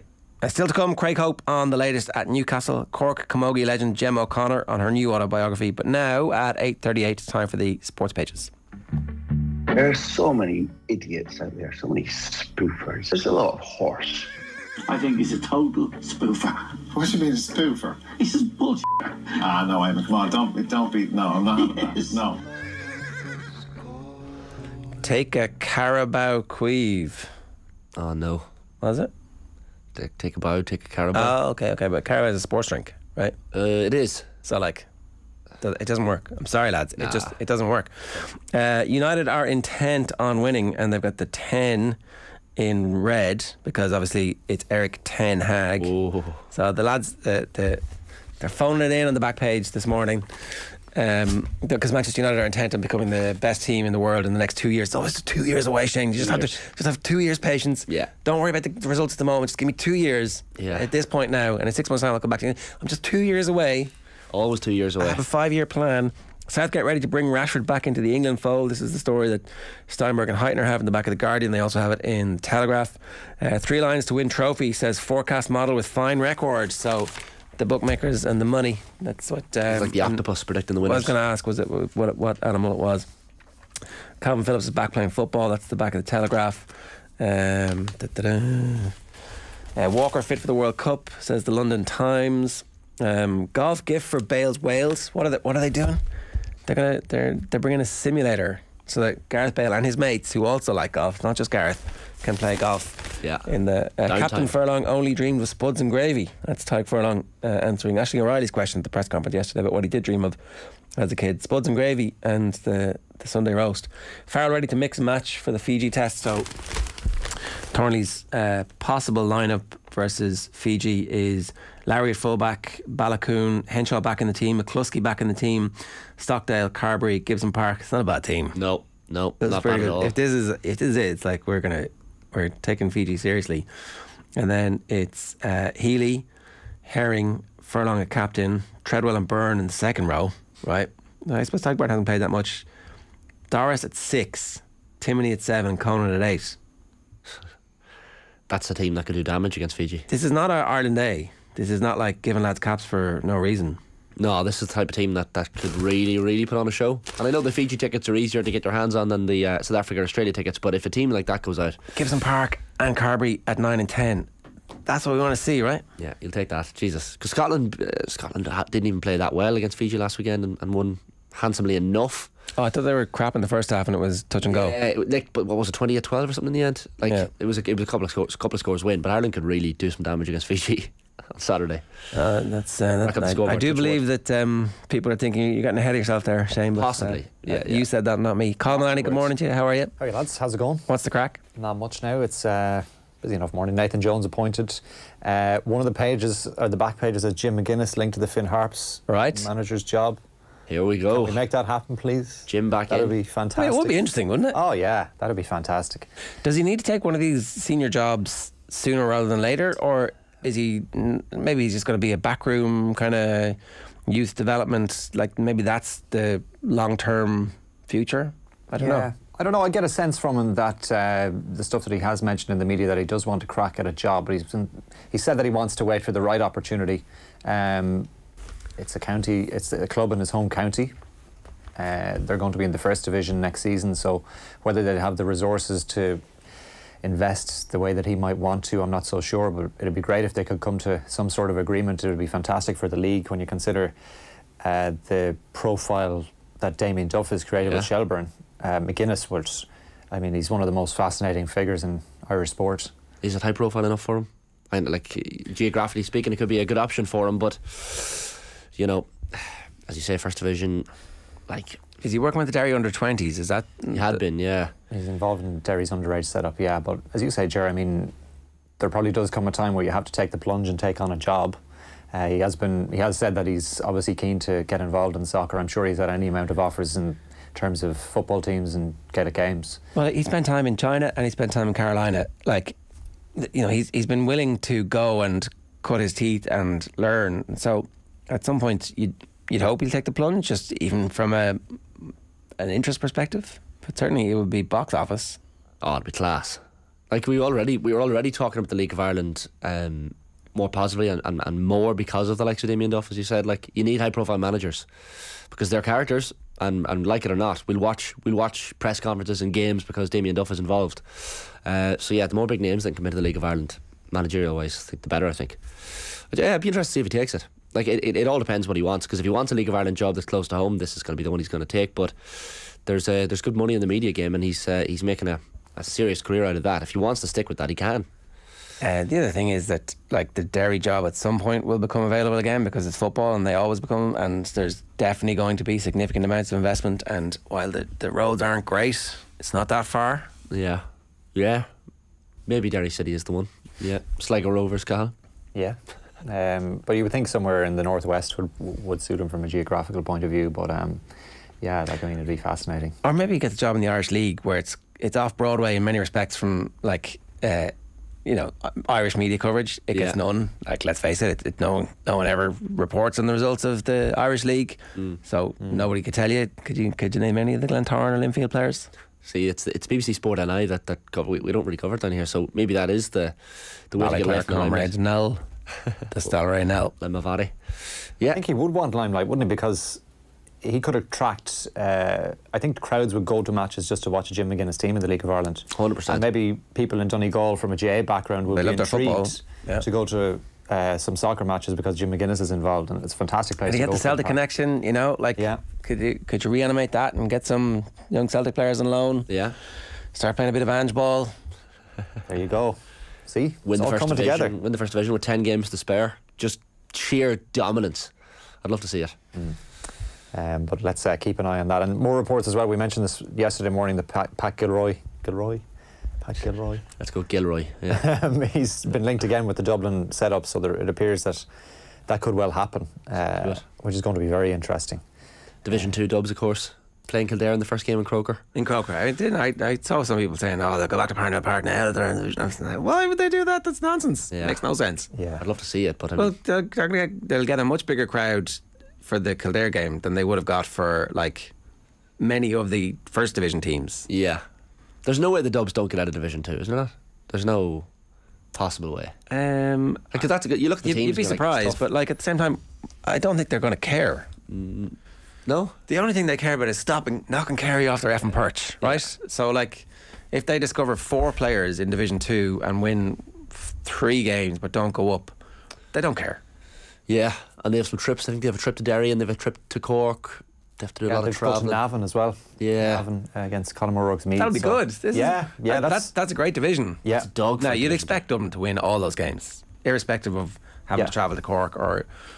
Um, Yeah. they didn't win in Newbridge last year, but you know, obviously they got Didn't win in their Clones either, Ger. But Um, yeah, it's not easy Division Two. I like. I would. I wouldn't like Monaghan to go down there because it's just a Well, you actually shark mentioned pit. Derry there. I forgot Derry were down there. Uh, Yeah. they didn't get out last year. So, like, I mean, they'll be definitely intent on getting some promo- getting uh, some momentum and earning promotion from there because they missed out narrowly last year, didn't they?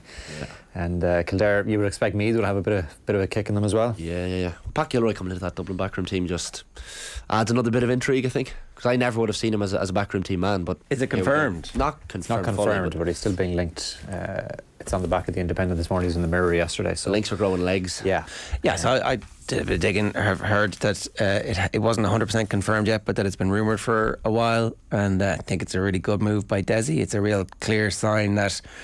Uh, he's not challenged by other very strong people that actually, you know, not in a bad way, that he'll be challenged in a good way by other very strong people, but that his ego isn't so big that he's like, oh, I can't have anybody of Gilroy's stature. And it's like, yeah, you come in, you help us. Yeah. Yeah, I think that's a really positive sign. It's kind of a, you know, in terms of if you were to talk about dream teams, like we've talked about the Mayo dream team, and we've talked about the Kildare dream team, uh, having Pat Gilroy back in, who like is the the godfather of the six in a row team. You know, like Yeah. they it was his team and his setup that stopped the famine, like uh, reorganized and ended the chaos years, and handed that over to Jim Gavin, who obviously perfected it. It's a show of faith in Dessie Farrell because, uh, by all accounts, at the end of last year, I thought he was gone. I think a lot of people thought, well, that's that's the end. He was going to walk away, maybe on his own terms, but uh, decided to stay put. And having someone like Gilroy come in, that's a complete rubber stamp of appro- approval from the Dublin board. Going here, you go.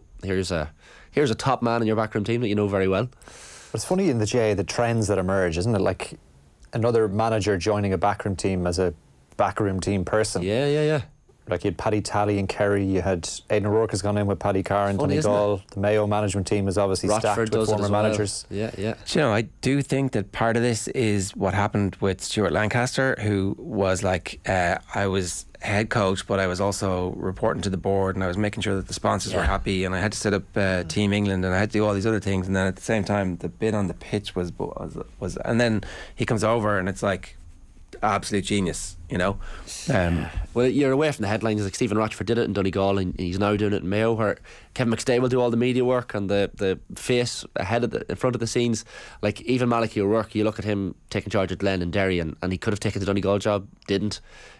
Why would you want the headlines? Like, because you're covering, you're you're manager of a club team, and you have none of that to, de- to deal with. Yeah, now I'm not. I'm not saying that Gilroy's gone in as a coach in the same way that Lancaster did, but it, like I can see him working with players on all sorts of different things. Like you listen to Paul Flynn talking about the impact that Pat Gilroy had on him. It wasn't him as a footballer; it was him as a man becoming somebody who was fulfilling his potential and starting to think about like the the broad hinterland of your life. And uh, if you can do that for some of the young Dublin footballers coming through, and just inject that level of commitment and um, you know effort that they need, like then that's something that Dessie Farrell doesn't need to worry about. He can actually spend Yeah. his time working on something else too. So uh, not not uh, not great for the other counties. No, and he strikes me, Pat, as someone who's, who's Dublin loyal. Like he, he, I'm sure had plenty of offers uh, to to manage outside of Dublin and, and and cut his teeth with other people as well. Not cut his teeth, but get involved and, and find a new experience. But clearly, is a dub, uh, true and true, and doesn't want to to help any other county, which is fair enough. So we'll see if that's confirmed sooner rather than later. Anything else, Cathal?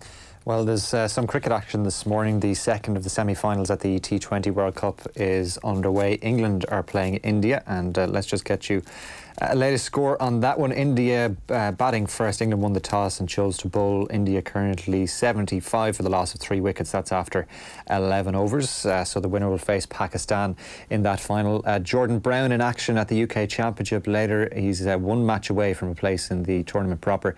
He plays Zak Surety in the final round of qualifiers later today. The first six frames in that match uh, will earn a place in the first round. The Republic of Ireland uh, football squad for this month's international friendlies will be named today. Andy Farrell names his rugby team to play Fiji later on today as well. And of course, Munster against South Africa A on tonight at Páirc Uí Chaoimh from half past seven. And uh, some golfers in action. Leona Maguire returns to action at the Pelican Women's Championship on the LPGA Tour. Stephanie Meadow also in the field there.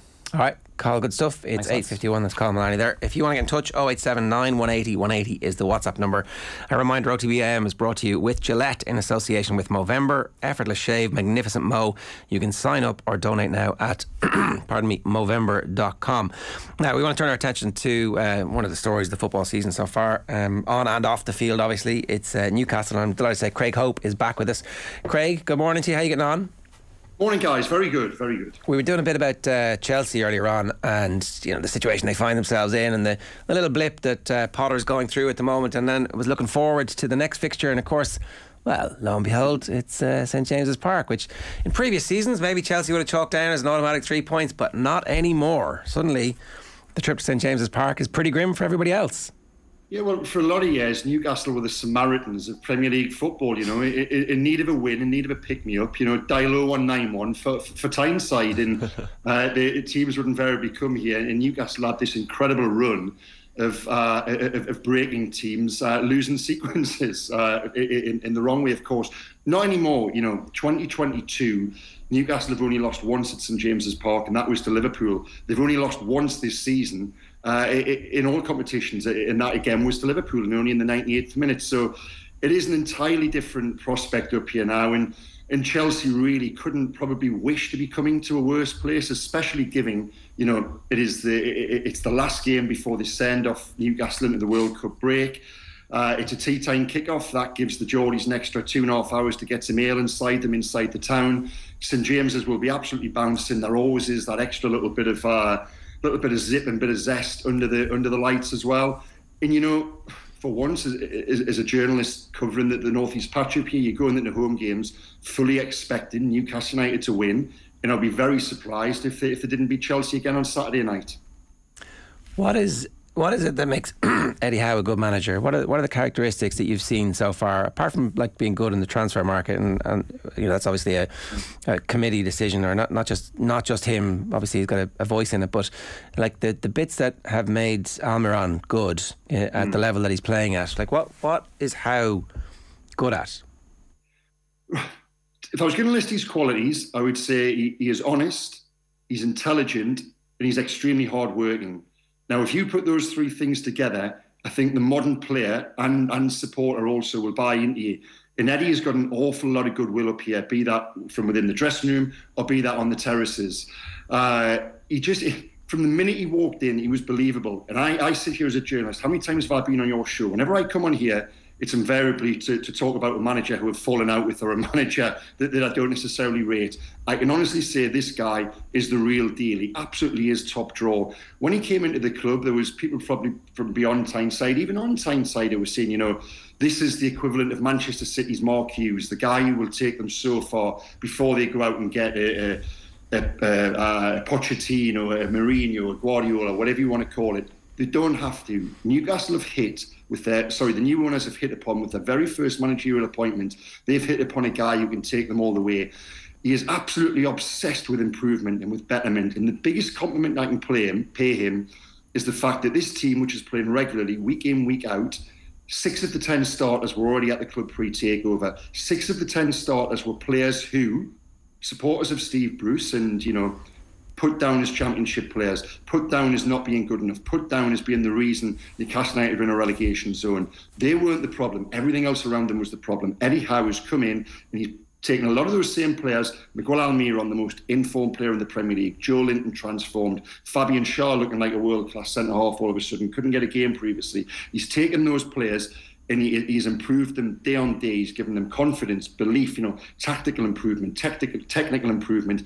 He improves players as both footballers and as people. And that is, as I said before, the biggest compliment I can pay him. And it's the reason Newcastle are where they are. Will, uh, will Eddie Howe, Craig, be someone who puts more emphasis on the top four finish or winning cups? Because scrape past Palace last night on penalties in the, in the League Cup. And I think there was a bit of a moment of brevity in one of the press conferences during the week where journalist pointed out that the, the Fairs Cup before the Apollo 11 moon landing in 1969 was their last trophy as a club. So, I mean, Newcastle fans will want trophies and want them fairly soon. How ironic, though, you, you, know, previously Newcastle used to rotate in the cup to safeguard against the Premier League status. We were there last night before the game, saying, you know, you can understand if they rotate to protect their Champions Champions League ambitions. What a turnaround in a year! The fact that we're we're having those conversations. But you know, Eddie Eddie wants to win a cup. You know, and especially there was a moment last night as the. Uh, as the teams were preparing to take penalties and the scores flashed up on the big board, and I asked this of Eddie afterwards, it revealed that Tottenham Arsenal and Chelsea had all gone out of the competition.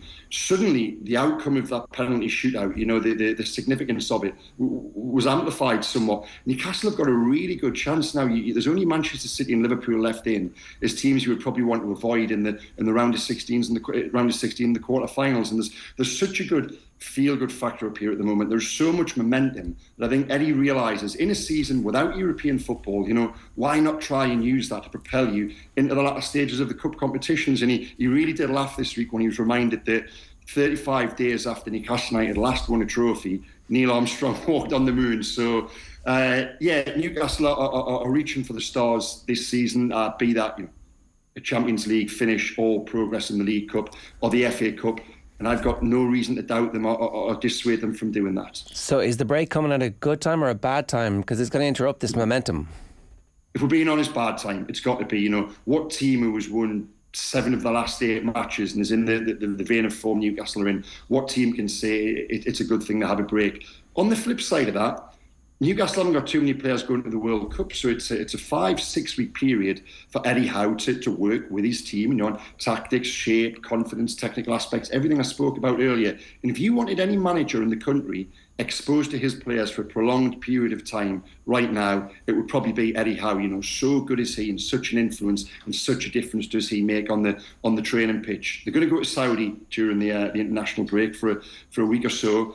And if you remember, the last time they went to Saudi was back in January. The return from that to win five of six games and propel them to the to the middle of the table. So there's always a positive to be had when, when Eddie Howe is manager, and I think Newcastle have, got to really try and seize that. You, you tweeted last night, I think, about the um, extra investment that the owners have made into the club. It's an extra 70 million. I'm not really sure how that works. Is it um, do they buy shares in it, or do they buy from somebody else, or do they like issue share capital extra? Is this kind of a way of skirting the financial fair play rules, or is it just kind of how football works? It, it's just a capital investment, and that money will only be uh, taken into account with regards financial fair. Sorry, that money will not be taken into account with regards to financial fair play if it is spent on things like infrastructural costs. Now, at the moment, Newcastle spend a lot of money on upgrading the, the training ground that wasn't really fit for purpose. Uh, so, you know, the, the, the bulk of that, I imagine, will go with the day-to-day running costs of the club. But of course, they've also got one eye on January, and it it's going to be really interesting going into January because all the noises coming out of the club at the moment are that they probably they probably won't spend big. They're, they're happy with what they've got. They are restricted by FFP, but they're going to January in third or fourth position, as, as is looking likely. They might just have a decision to make. And if someone like a James Maddison might be available, in actual fact, I don't think he probably will be. I don't think Leicester can afford to sell him for where they are in the league right now. But if that calibre of player did become available at the right price, they can act, and I think they might just, if they look at it and think, you know, this could be the little bit of stardust we need to keep us in those Champions League places. If there's if there's a man who epitomises the, the turnaround of, of, of Newcastle, uh, Craig, it's probably Miguel Almiron. And I know you wrote a piece on him earlier in the week. Um, you know, he went from a laughing stock, as you said, to a goal machine, and uh, it kind of became a, a figure of uh, comic relief for Jack Grealish and others uh, with his performances. And and yet now you look at this guy, and what was he, twenty one million pounds from the MLS a few years mm. ago? All of a sudden, he is he epitomises all that Eddie Howe is about. It is, yeah. I mean, I will clarify. I didn't use the word laughing stock and copy. Laughing stock was on the on the headline, so I do have to in part take ownership of it. But I wouldn't have called him a laughing stock. He was more now. So when Jack Grealish made the comment, playing like Almiron to poke fun his teammate Riyad Mahrez at the, the, end of last season, listen, it, it was crass and it was needless. But you did kind of know what he meant. You know, Miguel Almiron had almost become a byword for, for aimless endeavour, someone who ran around but didn't really have that that end product. And I think all Newcastle supporters and observers, uh, journalists up here like myself, would agree with that. Yet what we've seen this season is the the untapping of the, the potential that was probably always there. Miguel Almiron is a player who needs direction, he needs instruction, he needs a good coach. Now, for a period, he had that with Rafa Benitez, and you know he, he did play well. But under Steve Bruce, that just went totally awry. Miguel Almiron was lost at times. He was playing central midfield, and he looked like a player who was headed out of the club. Eddie Howe, as you touched on there, is you know there are two huge success stories in terms of players who uh, were probably headed out with Newcastle, Joelinton and Miguel Almiron, and right now, what is it, seven goals in seven games, while Jack Grealish sits on the bench for, for Manchester City. So it's certainly uh, Miguel who, who was having the last laugh at the moment. Uh, the investment, the trip to Saudi, the Saudi under 19 under 20 team coming to play, mm. the links to Saudi Arabia are obviously strengthening as opposed to like anything else that maybe people might have thought, but it doesn't make sense for the links, links to do anything other than strengthen. That's kind of the whole point of the Saudi Investment Fund getting involved here. While the team is riding high like this, I suppose it's difficult for any of the Newcastle fans to really complain too much, or is there what, what's that relationship like at the moment between the fans and the owners and the project and the point of the project? Well, it, it, it's strong. It's incredibly strong. There's there's nothing but praise for the owners, and I, I guess you're you're you're you're hinting towards other other concerns over the, the, the, identity of the ownership and human rights and everything. We've I've spoken about this on, on this show with you now. And I have to be perfectly honest, I think I gave the same answer the last time.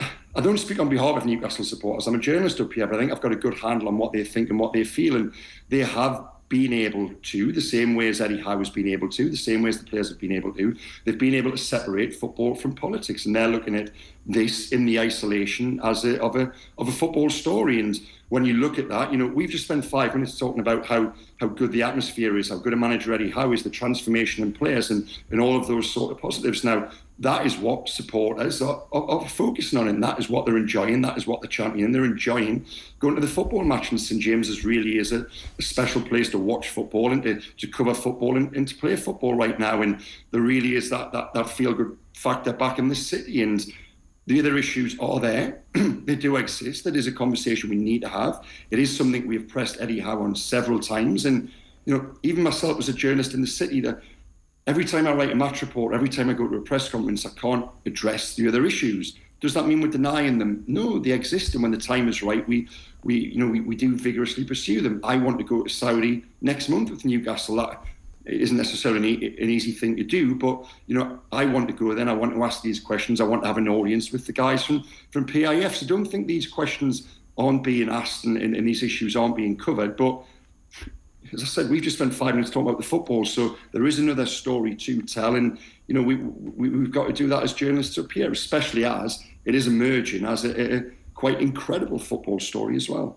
It's a young population in Saudi Arabia as well, Craig, and I think that's something that Newcastle maybe are looking to tap into with with talk of all these commercial deals as well. There is, yeah, and we sat down with Darren Eales last month for the first time, the chief executive in a in a box at St James's Park, and we had a chat with him and he didn't deny the Saudi presence. He didn't try to, to dodge it. If anything, he embraced it. He said, you know, yes, the Saudis are the majority owners of the football club. We will look to ex, exploit probably the wrong word, but you know we will look to take advantage of that that relationship in PIF's connections throughout the world and in Saudi to bring in c- commercial partners, increase revenue, find a way around FFP, not by cheating it, by by legitimately bringing in extra commercial revenue, extra monies into the club, so they can invest more in the playing squad and take the club and the team to, to, to where they want to be. That, that that's fairly obvious, and they didn't try and shy away from that. And I fully expect within the next few months for commercial deals, be it a stadium sponsorship or a shirt sponsorship, to be announced with with Saudi partners, and for those deals probably to be to be fairly lucrative too. The um, the transfer window, this window, will be very illustrative. Like if, if those deals are coming down the tracks, you can probably find a way to uh, make them work, make big transfers work if you wanted to with uh, financial fair play, given that it's a new financial year, obviously, as soon as December 31st midnight kicks in. So while I mean, if I was in charge of a club, I would be saying, "Oh, we're not spending any money," and then I would do my deal in the style of Liverpool, who would never spend any money, never, ever, ever, and then they buy players for seventy million. You're like, well, I thought you weren't going to sign anybody, as opposed to Man United, who get pressured into massively overpaying for all of their players. So, it does seem like the the the um, intelligence of how to do those deals, um, slightly off Broadway, is baked into the club at the moment. Yeah, I mean, which club would brief that they were going to spend a load of money going into a transfer window? You know, the last two win- Newcastle have had two windows now with new owners, and every time it's been, you know, a limited budget, conservative spending, and they've emerged. They've spent 200 million pound now. Listen, what I will say is, as much as it's a lot of money, you know, 200 million pound in very generally doesn't buy you a team that goes from the bottom of the table into the into the top four. They've got to be given credit for a spending the money they have spent very well in B, as, as I touched on earlier, improving the players who were already at the at the squad. It's a, it's a it's a combination of the two is to the reason why Newcastle have eh, enjoyed this incredible turnaround. But what will they do in January? Well, you touched on the FFP there. You know, new financial year. It doesn't doesn't quite work like that. It, it's uh, it's calculated over a three-year period, and Newcastle are at the almost the, the very limit of their FFP expenditure at the moment. Could they go again in January and speculate to accumulate, you know, front load that spending with a view to bringing in bigger, more lucrative sponsors down the line? Well, yes, they could, and if the right deal is there, they, they perhaps will act. But the message at the moment as it was the previous two windows, and we know what happened. The message at the moment is they're probably not going to spend big in January. I have one last uh, wildcard theory for you here, right? Um, let's say the World Cup goes really badly or really well from an England perspective, and Gareth Southgate decides, okay, I've had enough. So if he wins it, I'm riding off into the sunset. Mm. Uh, if he goes out in the uh, first round, it's like, well, okay, my time here has come to an end. The obvious candidate at that stage for mm. the England job would be Eddie Howe. Is there a world in which that happens? Mm. Yeah, it would be absolutely, but uh, it won't happen. You know, I can 99.9% sit here now and say, even if the FA came and, and asked Eddie Howe to be England manager, which I think they, they probably should, if uh, if Gareth does go, he would say no. The England job will always be the England job. The England job will be the England job in five years' time, ten years' time. Eddie Howe's still a relatively young man. He's only 44. The Newcastle job at this moment in time is unique. It's once in a lifetime. It's the most exciting project in world football. You don't leave the Newcastle job as it is now to go and take over England. That might sound like a crazy thing to hear. I don't know, but it's the truth, and that is how Eddie's thinking at the moment. There's no way he would leave Newcastle for any job in the world right now. I can I can confidently say that I, I, I really can know him and, and, speaking to him about this in recent months. So, so yeah, while it is a, a very plausible, likely scenario, uh, it won't happen. So there you go. That's my answer. Craig, uh, the we wait, wait to see the, the final England squad uh, later, later today, I think. But uh, mm. interested to see in the in the mail you've had um, yourself and a few of the other columnists picking your your uh, selected starting eleven for, ahead of the World Cup. So you've gone with four two three one Pickford, and then the back four of Trippier, Coady, Stones, Shaw, Rice, mm. and Bellingham in front.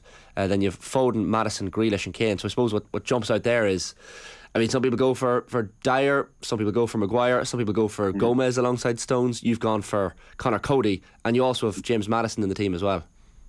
Yeah, so I think there's three players in there who won't be in Gareth's team. I, think Gareth's starting 11 is uh, is probably quite predictable now. The three who from my 11 who won't be in Gareth's 11 will be Connor Coady at the back. That'll probably likely be Harry Maguire or uh, Eric Dier. Jack Grealish won't probably start wide wide left. That'll be Raheem Sterling.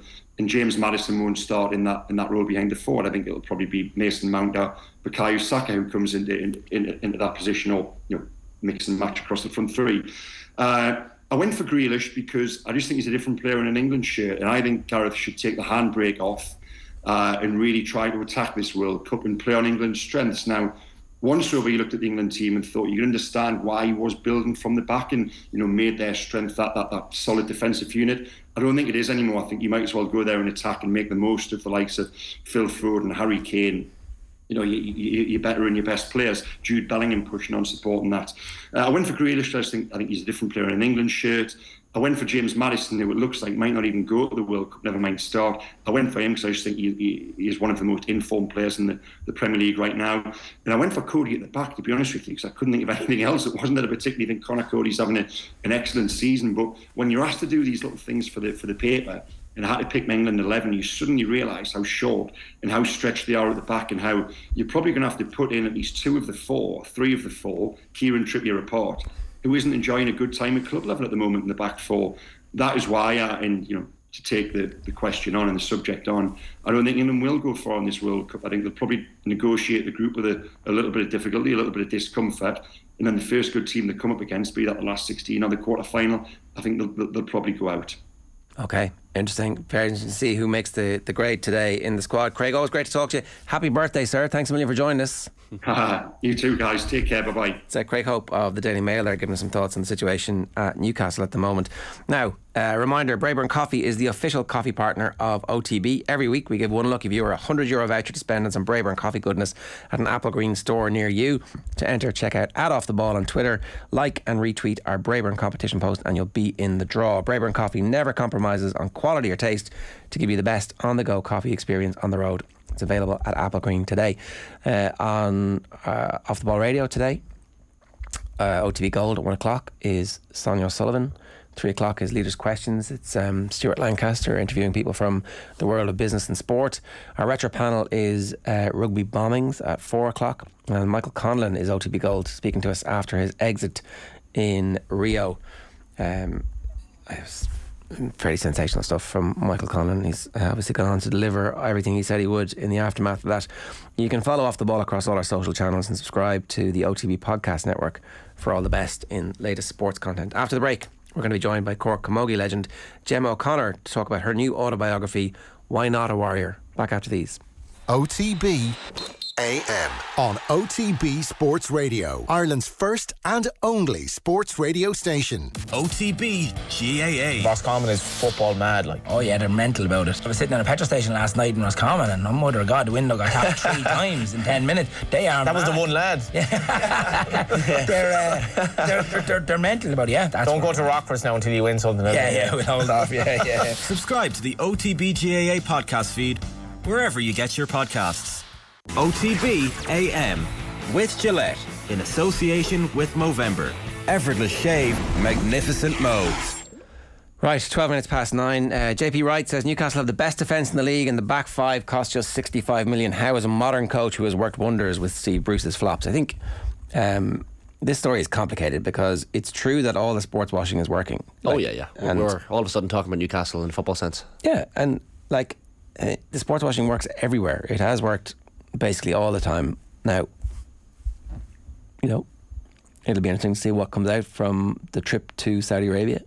Um, Yeah. but I, I, you know, does it like do, are more people aware now of the fact that Saudi Arabia has a fairly horrific human rights record than they were before they bought the club? Is it? Is it? Has it shone a light on it? Yeah. I don't know if it has. Um, possibly. The question does be Did asked. football fans did not care about any of this before? No, Golf fans true. did not care about any of this before. Qatar has definitely highlighted a lot of it. Um, the, the questions were asked of Eddie Howe and he avoided them. Uh, you know, at the start when he took over Newcastle, I'm seeing lads at, at Monaghan Town training wearing the Greens uh, Saudi Newcastle strip, who, are, who aren't even Newcastle fans. And they're like, just like the jersey. Yeah, because they like the jersey, but like they're not really thinking about the fact that this is a this is essentially a Saudi Arabia jersey and, and with Newcastle's crest on it. Like it's become a thing where people, all right, yeah, yeah, geez, that's bad, isn't it? Saudi Arabia are cutting people's heads off with swords. That's terrible. Geez, the jersey's nice, isn't it? Like it- you know, people, football fans are fickle. It, it's you forget fairly quickly. Uh, no, obviously, if you're in the media or whatever, and you're reading about this all the time and talking to people like Craig Hope who highlight who highlight this all the time, it's more in, in the periphery of your mind. But yeah, the sports washing with Newcastle is working massively because they're going to, as you said, they're going to Saudi Saudi Arabia on a trip and nobody cares. They're they're starting commercial deals with Saudi companies and nobody really cares.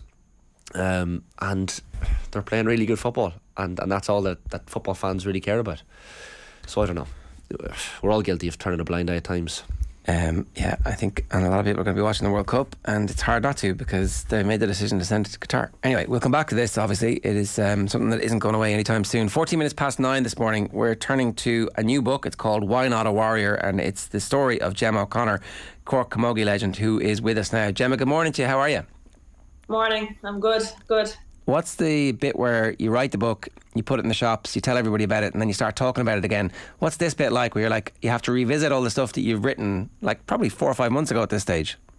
Um, yeah, look, to be honest, um, it was fairly, I think it was fairly difficult to get my head around when I was approached to do the book. Um, it was something that I wasn't overly eager to do. I suppose we have to talk about everything. You have to put your trust in somebody that you've kind of that you don't really know and you have to tell every story and then what you know you kind of decide what what goes into the book. And um, you know I'll be honest the book isn't there to to bad note or to go and relive any kind of bad memories or anything like that. It's probably trying to portray the best image of of the sport my life um, obviously experiences along the way but um, yeah it's it's it, it was pretty interesting. Um, it was good to relive some of the memories some of the sporting memories and stuff like that. And um, you know I suppose that's what I probably found the most interesting about it.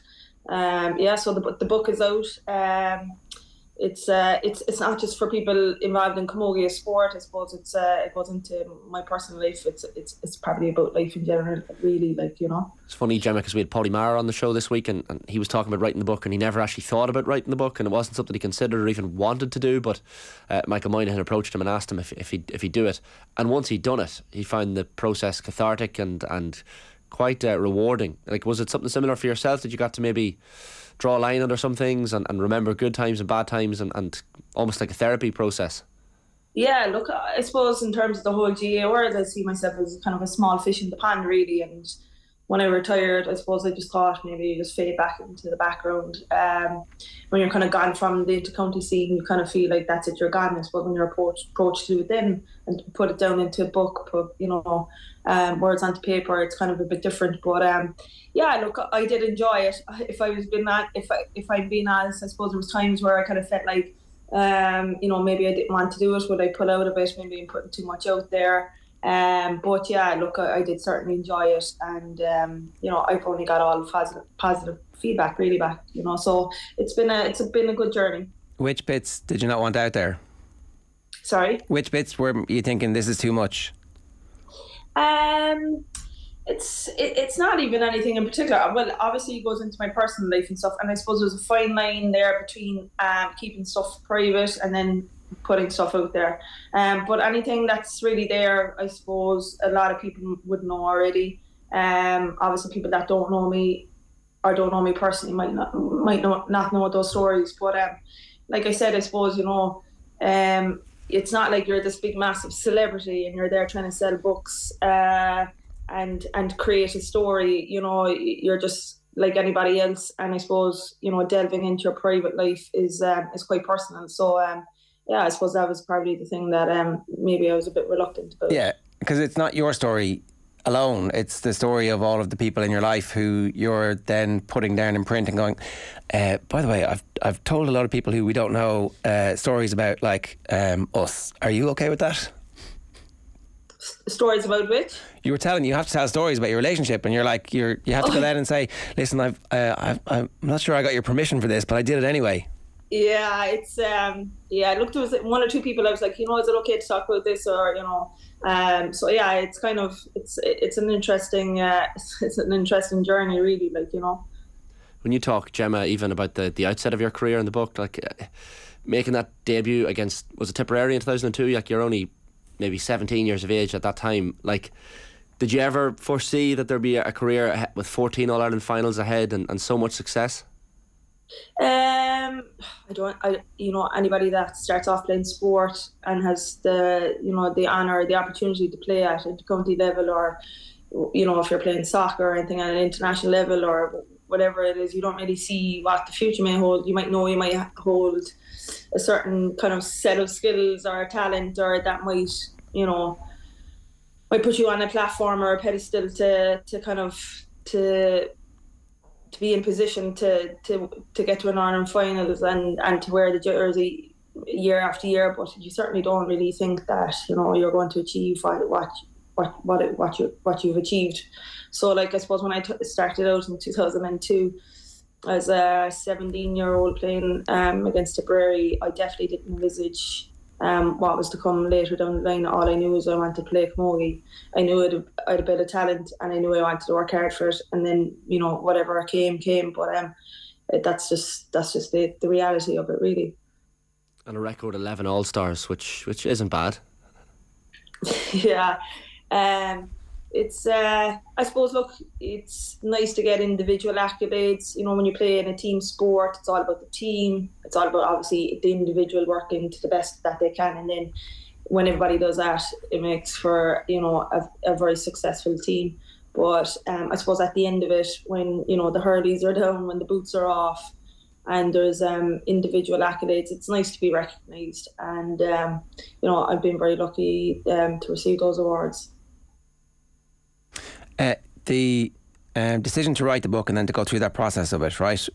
What was the bit that you felt like was going to be the most compelling element of your story that you did want to share? Um, I suppose you know when we were doing the book, and I was talking to um, Sinead Fard, who wrote the book, and talking to Liam Hayes, uh, Hero Books, the publisher for Hero Books. I suppose you know, I suppose the obvious thing as well is you know talking about your sexuality and stuff like that. And I've no issue talking about my sexuality. I've been always very open about it. Something that's just a part of me. It's who I am. Never really saw it as something that I had to, you know, scream at the top of my lungs about. It was just always it's like anybody else, you know, it's anybody, you know, whether you're straight, um, you're, you, whether you, you know, if you're in a heterosexual relationship, it's just who you are, and that's the way I always viewed about it. But I suppose it's very different then to talk about it and put it down on the book. Um, and I suppose you know that's the fine line, I suppose, about your private life by keeping things personal and about putting it out there. But I suppose when we all sat down and, and spoke about it, you know, I suppose you could be very selfish in, in the way that you might say, look, I don't want to do the book because I don't want to talk about things. But I suppose if by me talking about my sexuality and my experiences might help one or two people out there now that are struggling to come out, um, you know, having difficulties with family or friends or people um, that they play with, or they just, you know, can't realize basically, you know, that it's it's okay to be who you are. Um, I suppose that's probably the reason why I did speak about it, um, because it's very easy just to close off and uh, say, look, I'm not comfortable talking about that, but look, you know, I suppose if I had one or two people out there, then I suppose I, I, I've gained something in that. Did you have somebody out there who you were looking up to when you were a kid that you could actually say, okay, somebody has done this before? Because there's, there's an extract of the book that um, you kind of talk about. Well, you didn't formally come out; people kind of just knew. Your family just kind of knew. It wasn't a, a like a there wasn't a formal kind of process for you, um, which suggests that you grew up in a really great environment. To be honest, that's the the first thing that struck me reading that yeah, um, look, I've been very lucky enough with my family. Um, look, you know, it's not all plain sailing either. It's really, you know, it's not, it's not easy by no means. But, um, but for the majority of everybody in my family, it's been, um, you know, very accepting. Um, you talk about somebody that I looked up to in terms of maybe my sexuality and stuff like that, realizing who I was, maybe that it was okay. My uncle John, my mom's brother, um, you know, he, he's gay, and my grandparents are always very accepting. You know, people that came from that were born in the twenties and thirties never questioned his sexuality, which I really kind of looked up to, and they just accepted him for who he was. And it was kind of the same for me um, a bit, you know, in, in terms of that, and that's the kind of approach that I took. You know, it's um, it's something that I kind of wanted to go about in a way, you know, rather than, you know, saying, oh, I'm this, I'm that. I'm just like, but this is who I am, and this is my partner. This is, you know, was just a part of life. Um, and look, I'll be honest, there was obviously very difficult things along the way, but um, generally speaking, yeah, I've been very lucky enough in terms of my family. We spoke, Gemma, to Ashling Maher on the show this week, and, and she was talking about the, the, the survey earlier this year. It was a Newstalk survey in conjunction with the GPA, where um, 714 respondents, so 69% of female players surveyed, were aware of a player currently out within their squad. It dropped to just 10% of awareness for male players, and she spoke Mm. about being surprised that it was even as high as, as 10%. Like, do you think there's something within the, the GAA culture or even the pub culture that surrounds it that maybe discourages players to coming out, especially in the male game? Yeah, look, I, I think I spoke about that. Um, it's look, as I said, it's not easy for anybody, male or female. Um, but I suppose there's a, a perception out there that the shock factor is less when women in sport come out. Um, I suppose you know if you're play, you playing sport, you're you know some bit, bit of a tomboyish um, character or there, a, tomboyish element to it. And look, don't get me wrong, there's probably more, you know there's there's more straight people, female straight people that I know than than um, than gay people out there. Um, but that, you know I suppose that, that perception for females in sport is that shock factor is less. In terms of men, um, and I suppose this is probably repeated time and time again. Um, you know, men there's a lot of pressure on men to portray a certain way. You know, to be that alpha male, um, to you know play a sport where it's very physical, like hurling and football. You know, especially in the GAA culture, um, and, and, and, like any other sport around the world, you know, rugby, soccer, whatever. But you know, just in terms of the GAA, that what we know, um, you know, it's a manly sport. That's the way it's portrayed, and you know, the the pub culture then kind of um, highlights that, or it's uh, it's boosted by that, by the, by the egos and by the uh, by the fans of how people are supposed to to act and portray themselves. And um, I suppose that's the certain that's probably the thing that I probably don't like about it. Um, and as I said, it's not that you want people to come out and say, "Oh, this is who I am." I mean, again, there's a certain part of your life that you you can be private about, and you know nobody can deny that. So if there are male um, sports people out there in the GAA that are gay, you know, you don't necessarily have to go up and wave your hand and say, "Look, this is I'm gay and I'm proud and and all that." But it's um it's a lot harder for for male athletes to come out because of those reasons, you know. It must be rewarding though for you, Gemma, when you see and you you spoke about this in the book as well. You know, even after your wedding, getting messages, you know, from from people on Instagram, you know, saying that you're you're you know, thank you for being you and you've helped me, you know, come out or or uh, I guess speak to family about issues like this. So that must be quite rewarding when you when you get messages like that. yeah, like uh, you know, I suppose when I when, we're getting ready to get married and stuff like that, and you know, my relationships, not, I don't really see anything different about it now. I'm I'm just so used to it, I suppose. But I suppose we forget about people out there, and I suppose people um, take for granted that you know we still live in a in a, a society that still thinks that you know these type of relationships aren't the norm. And while we're very lucky to live in a country like Ireland, I suppose there's still people out there that find it hard to come out.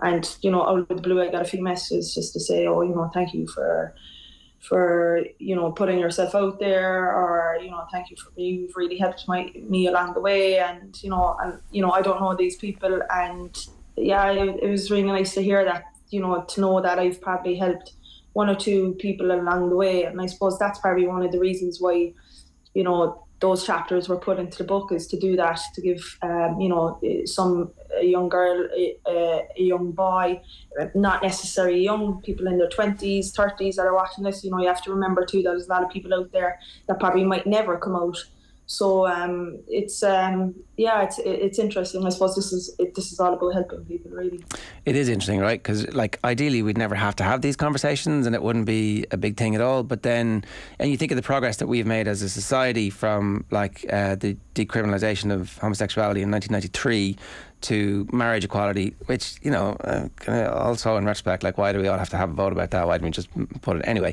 But then there's that clown in Listowel last week coming out saying what he's saying, and all of a sudden, loads of people feel kind of, oh, well, actually, you know what? Uh, uh, there, there's a, a, a, there's definitely a, a, congregation, and I don't mean specifically in Listowel, but there is a congregation of people who still share those uh, dinosaur views, and unfortunately, we do still need to have these conversations, and that's why I think your book is going to be important for people to read and kind of for you just to talk about this normality because like that's exactly what it is. Yeah, it's um, you know the, what that priest said was you know it's people might seem shocked or you know about it that you know I suppose especially we, li- we live in a society too where if you look if you the flip side of it over is you know the whole freedom of speech thing and you know people are entitled to say what they say and but when they do um you know people get picked up on it and there's a fine line between it all. But I suppose when you're, when you're sending a message to the community about love and respect and about um I suppose Christianity is about accepting people no matter what but uh, you know it's um it's a difficult one to to kind of understand. Um, but yeah, look, I think there are people unfortunately out there um, that don't understand it, and I think that's okay too. I think people have to realize, look, there are people out there, people that the older generation maybe, um, and obviously people is you know modern mindset people too still have it that might not understand it. And I think we have to portray the fact that that's okay too. I suppose the important message in this is that, you know, if you know anybody that's gay or you've a son or daughter or a cousin or an aunt or an uncle or whatever, what, what it is that, okay, it's okay maybe not to understand it, but it's so, I suppose the important message is to say, look, you know, I still love you. Um, you know, you know, we, we can talk about things. uh, maybe I don't understand it, or maybe I don't fully accept it. But you know, I suppose the whole key in it is communication and just you know not um, abandoning people or um, kind of you know I suppose um, isolating people. You know, and it's about it's about communication and it's about understanding and it's about you know listening to people, and that's probably the key message um, all of that. You know. Yeah, no, it's a, it's a, the ultimate key message I think people will definitely take away from the book. What, One last thing, so you've obviously been involved in camogie all your life. Uh, is there a plan into the future to get into coaching and management? Is that in your future, do you think? Um, certainly. Um, I suppose since COVID, I suppose COVID really was probably the finite time really for me to retire. Um, that kind of pushed the questions of me, which I had um, probably a while back um, about retirement, and I suppose COVID just kind of finished that for me. Um, didn't really have the the support systems or the structures around. You know, you kind of have to do everything yourself, and when you get older, you kind of need, you know, you need a physio, you need a rehab, you need people by your side to do things, and I kind of finished that, and then I suppose I took a break and getting married was an, was a, a priority because I spent all my life just giving the time to camogie and nothing for myself or um, to Aoife, to, to my partner or to whoever, like, you know, so it was always about my time in camogie. And then um, I was doubtful about going back playing club, um, but I back, you know, I went back playing club and stuff like that. Um, so yeah, at the time the time is ticked by and it's certainly something that I'm, I'm definitely looking forward to getting into in the future. I just think i need to take a bit of time just to um, to enjoy life for maybe the next year two years and then i'd love to get stuck back into club coaching um, maybe hopefully into county get involved at some level. Um, you know just because you finish playing camogie doesn't mean you have to close the door completely. So um, yeah i definitely would love to get back into it uh, Gemma, you're a member of the Defence Forces as well, and, and I know even uh, I remember when you, you, retired. I was reading a piece the other day. Mm. Claire Spellman, the, the Galway player, was talking about coming across you at, at Collins Barracks. Um, like, th- th- seems to be a lot of transferable skills there between you know being in a camogie team and being in a, in a in a unit on the in the Defence Forces. Like the, the camaraderie and teamwork. You've been around that your entire life. It it seems to be something that's quite transferable.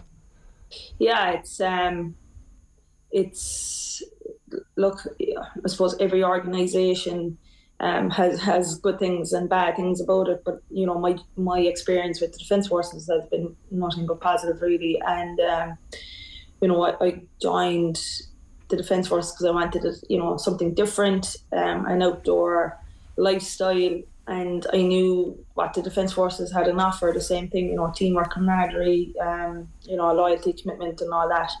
And when you're there, you know, it's it's like playing it's like playing sport when you're in that environment. It's a team environment. You don't do anything necessarily by yourself. Of course, there's you know everyone has a specific role or a job, but you're working with people the whole time um, whether it's in barracks, whether you're in a training environment, whether you're overseas, you know, you need people around you. And without that teamwork or that camaraderie, it doesn't work. If it fails. And it's the very same then on the pitch with Camogie. You know, in sport, it's all transferable. So um, they go certainly go hand in hand. And um, I've been very fortunate to experience both. And I, I think it's kind of, you know, it stood by me, um, and it's uh, it's something I would definitely recommend to people that have any interest in the outdoors life and sport. You know, you can play sport in defence forces as well. You know, there's um, a massive uh, drive for that there. So um, yeah, look, it's uh, it's those characteristics definitely go hand in hand, and I, I've only gained nothing but um, but positivity from it, and uh, it's. Uh, it's definitely a, a good career to take. Uh, one last one, sorry. Uh, where did the name of the book, Why Not a Warrior, where did that come from? Um, well, it was kind of something that um, Liam and Sinead kind of thought up of, and um, I suppose I just looked at my whole life, my life experiences, and you know, being uh, being a camogie player, intercounty camogie player for so long, the experiences that I went through, I suppose, you know, in terms of my sexuality, my, um, you know, you talk about um, your home life, you know, the people that you've lost, um, my experiences in the army, and they put all that together, and I suppose that's what they came up with, you know, and that's where the, the that that um that title came from. So you know, they asked me was I was I okay with that? I said, look, I, I trust you. You're the people. You're the experts. So um, you know, I suppose that's that's that's why he was chosen. Why not a warrior? Well, listen, we wish you the very best of luck with it. Thanks a million for joining us this morning. Cheers. I appreciate it. Thanks a million for having me. Thank you. No worries. It's uh, Gemma O'Connor. The book, as I said, is called Why Not a Warrior, and it's available now in all bookstores. It's 9.35 uh, on the show tomorrow. Ron O'Gara is going to join yourself and Shane. Ron in the papers today talking about yeah, the England job. Yeah, definitely interested in that. definitely interested in that. Dropping grenades. Yeah, like, yeah. I, I think I'd be able to find a way to make those two halves work together. Obviously, um, I've got a very, uh, I love my job now. Yeah, but, yeah. You know. Always interested in and he's got the disciplinary procedures to go through the minute in France as well. So, uh, always, always fascinating. But yeah, the England stuff is never going to go away, is it? These links. Uh, well, specifically, obviously, he's in uh, London for the Babas game. Scott Robertson also said, Yes, I'd love to manage England. But I mean, I would prefer the All Blacks. But England, you know, if I have to, I'll take that job too. Very good job. So in London, when in London, exactly. surrounded by English journalists. You gotta, you gotta like give them a, a little scratch under the chins there. Oh yeah, yeah, I love, I love. Yeah. Great job, great job. But at the yeah. same time, you know, it's uh, it's not not bad uh, negotiation skills. Uh, right, the Welsh FA chief executive. You met him recently. Yeah, Noel Mooney. So I was sat down with with himself uh, last week in the Marker Hotel in Dublin. So it was Neville Southall and Ian Rush. Those those interviews are up on uh, the YouTube and the podcast as, uh, as well already. But uh, yeah, Noel, fascinating background. Obviously with the FAI, he's now the head guy with the uh, Football Association of Wales. So kind of spoke about the.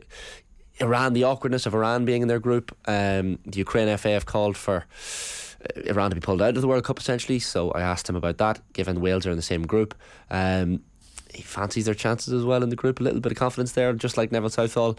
Uh, and then, of course, just the, the, the, moral issues around going to the World Cup in the first place. So, yeah, interesting chat with Noel Mooney. OTBAM brought to you live with Gillette in association with Movember. Effortless shave, magnificent mo. You can sign up or donate now at Movember.com. Here's Shane in conversation with Noel Mooney. Enjoy.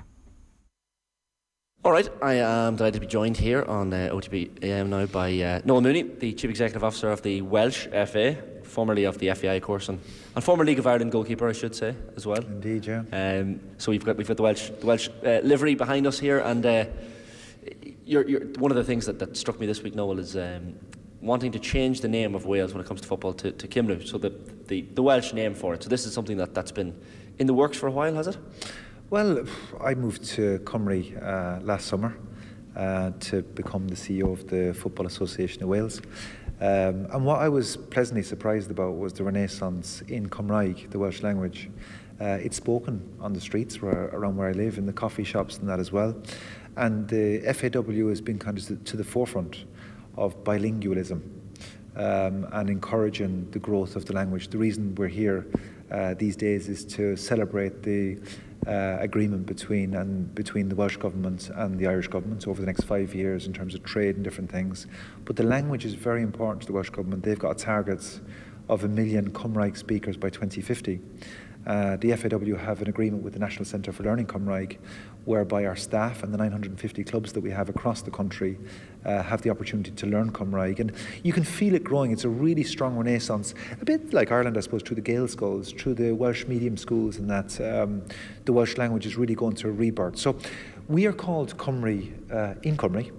uh, and also, I mean, for, for example, rugby, um, um, Wales play against New Zealand, uh, the All Blacks, over the weekend. And if you look at the social media and that from the, the rugby union, that's Cymru against the All Yeah. Blacks. So it's not unusual, as Tom Jones would say, uh, to Just uh, Welsh reference in there, yeah, yeah. to uh, to call ourselves Cymru at home.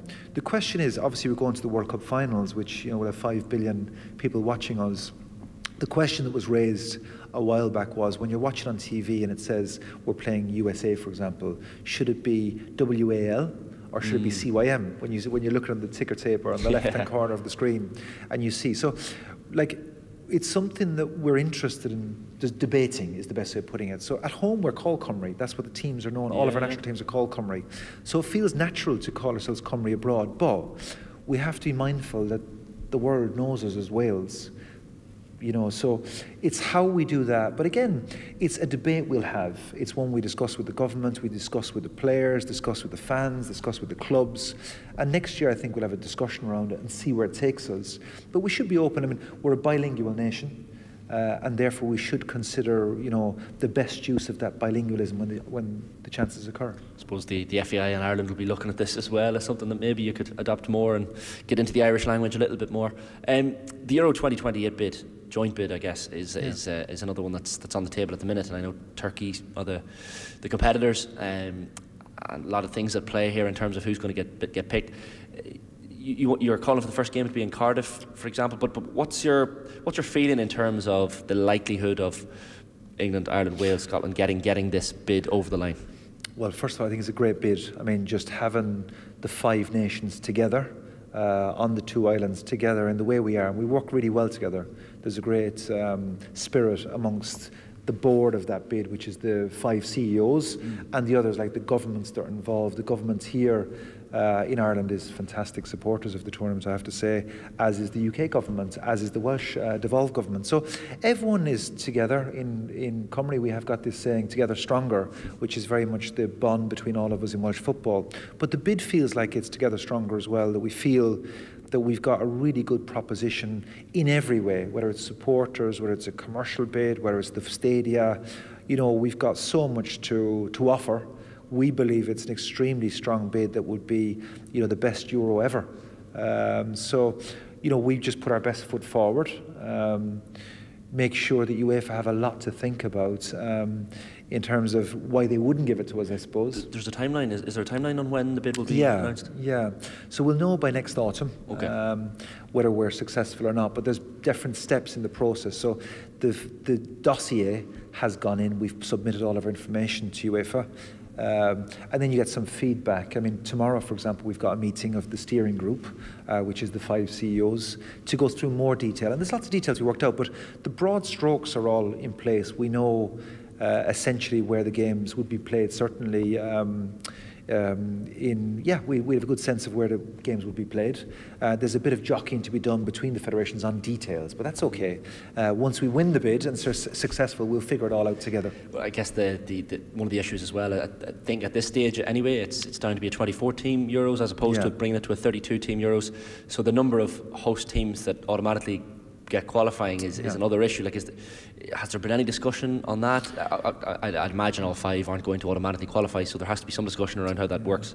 Yeah, I mean, we discuss it all the time. Um, you know, all the different headings, um, you know, the stadiums that are going to be used. But for the qualification, I mean, you're not going to get, I'd imagine, five automatic qualification spots. If you get that, that's fantastic. Um, but I don't think it'll work like that. So, you know, I don't know, would you be aiming for, for, for less than five uh, Mm. and more than one?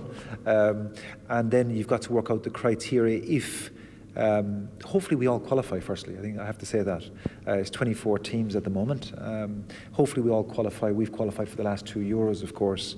Um, so there's a lot of confidence that we should keep qualifying for these tournaments. But if we don't, the fallback position of these automatic qualification places would be important. And then we've got to agree between us the number uh, and the criteria for getting them spots, of course. So that's going to be a, a bun fight, I presume, between us all. But it'll be done in the right spirit, which everything around this bid has been done so far. Well, fingers crossed we get that, that bid certainly over the line.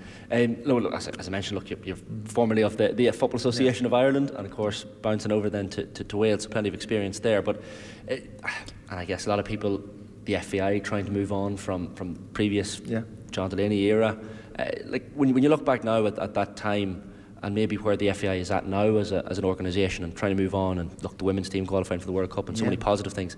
Yeah. Uh, what are your thoughts on how, how the FAI has maybe developed from that uh, admittedly terrible era to, to now essentially? Yeah, well, but first I'd let the FAI talk about how they're doing, to be frank. Um, I've got my hands full with managing Welsh football. I have enough to worry about uh, in Cymru. Um, so I let the FAI speak for how they, they are progressing. But from seeing the um, women get to the World Cup finals was fantastic. Obviously, I was here when uh, we appointed Vera Pauw as the manager, um, and that was a big decision because at the time there was a lot happening. Uh, there was a lot of issues to solve, and in, in the middle of all of that, mm. uh, we had to appoint uh, a manager for the women's national team. Uh, and the selection has proved to work out pretty well. Yeah. Um, and look, it's just been fantastic to see the crowds growing. Uh, for women's football generally, by the way, I mean, you saw with ourselves, we played a playoff match the other night in Cardiff. There was 15,200 people right. to see our women's national team play. So it's growing so quickly. We've got uh, a fantastic squad. But unfortunately, we were beaten by Switzerland the last kick of the ball in extra time in the playoff. But we're really comfortable that we're going the right direction in Cymru, that our team um, our women's national team is really good. Um, and, you know, we've, we've got a side that's growing, so I think we'll qualify for lots of tournaments over the next few years. Uh, and hopefully we can fill the stadium. I mean, our stadium in Cardiff City is 33,000 seats. We can fill it now for the men, okay, against Ukraine and Austria for our for our playoffs, where you couldn't, you know, you couldn't get a seat. Uh, but for the women's team, we're at over 15,000. And I think if we come to a, a night in Cardiff where we're aiming to qualify for Euro 25, I think we'll fill the stadium. I really believe right. that. And that's our big goal in the next campaign is to fill the stadium completely for Women's International um, and to just show the massive progress and to build upon the massive progress we made in the last campaign. Yeah, and that, I think that's the conversation that's happening here as well in terms of, you know, filling Tallaght Stadium, Definitely. getting a friendly in the Definitely. Aviva Stadium, all the rest, and, and, even you know seeing things like you know players' faces on billboards and buses and that sort yeah. of stuff. It's it's clearly increased in, in interest and intrigue for, for many people. I guess like Liberty Hall was it's hard to believe it's five years ago now, but yeah. it, that's probably the when you look at Irish women's football, it's probably the yeah. line in the sand turning point from before then and, and after then. Like, that, did, did it feel like a colossal moment for you back back then, five years back ago? Then, back then, I was in UEFA. I remember seeing it, um, and you know, it certainly didn't read well. Um, that's for sure. Um, but at that stage, um, you know, the women's game, and even still, there's issues coming up in the women's game. We're always looking for equality and everything. Um, still, there's new issues emerging all of the time mm. that you have to keep responding to, and that till we get to a place where, and there's different issues, by the way. I mean, there's certain things. For example, even with us, um, the men's players all have boot deals the women's players don't have boot right. deals, so we have to give them extra boot deals. We've extra support we have to give them. We've extra staff in around the women's camp that the men don't have. Mm. So it's it's a mix of everything. To be honest with you, uh, the equal pay is obviously a big issue, of course. Uh, making sure that they've got the same charter flights, all of them things, which thankfully we've all moved a million miles on from. And I think if you look at the Irish squad, they look so happy. They they've earned what they've got going to the World Cup finals women's football, women's sport is in a good place, but women's football is just explosive. Any sponsor that comes into me now to talk about Welsh football, even though the men's team is going to the World Cup finals, mm. the first thing they ask me about is the women's game. Right. Yeah, the yeah. Fir- like the commercialisation of the women's game will see lots of benefits coming to. Um, to the athletes, which you should get, but also even in terms of salaries of managers and different mm. things, mm. the salary benchmark for women will grow quite quickly as the um, commercialization, the TV rights, and that grows, um, you know, we'll end up paying a lot more. But it's great because it means that people want to watch women's football so much now. I have to say, I think the English Women's Super League is fantastic. Yeah. I've watched a bit over the weekend. Uh, and the way um, the broadcasters have taken that forward, and the way the sponsors have taken it forward, and the way that uh, the people behind the tournament have taken it forward is absolutely fantastic. So it's like a race to the top, thankfully, yeah. for everybody. So if you look back at Liberty Hall, them pains were being felt not just in Ireland, but in many countries across Europe it feels very much, certainly like in, in Western Europe, certainly, and I think increasingly across all of UEFA countries, that it's moving on at a million miles an hour, and it's just fantastic. Um, when you look at, uh, and you mentioned, look, Wales qualifying for the, this World Cup, uh, yeah. and first time since 1958, which is an extraordinary achievement, um, and we watch them closely. But uh, th- there's the, the issue for, for every football association that, that's involved with yeah. Qatar and, and the, the human rights abuses and the LGBTQ plus issues and migrant deaths, and you know the list goes on in terms of uh, what's what's happening over there in Qatar. Like, w- w- does it sit uneasily with you as a, as, as a chairperson of one of the associations involved? Like, it's you, you guys are put in a difficult situation in that you have qualified for the tournament, and yet there's so much negative uh, word around this tournament, and rightly so. I guess a lot of people would, would say. Well, the first thing is uh, when I was at UEFA, you know, the, before I came to to Cymru, a working group had been set up for the countries that were qualifying for the World Cup finals. So you'd have had the ones early doors like the French, the English, the Germans, the Dutch were in quite mm. early because they qualified through their groups. So that working group was set up to interface with the Qatar Supreme Council. Uh, and the various bodies like FIFA, of course, um, who are the organisers of the tournament. So I was, I felt good that I knew the early meetings between the UEFA working group and FIFA and uh, the Qataris. Now, what we did know uh, that there was legislative development in the country, you know, the ending of the kafala system and different things. That was that we knew was positive. But what was important to think about what was the pr- principle for us when we're thinking we qualified, we beat Ukraine to qualify for um, the World Cup finals, and immediately your mind goes, okay, we're going to the World Cup finals. There's going to be, you know, a spotlight shone on the region.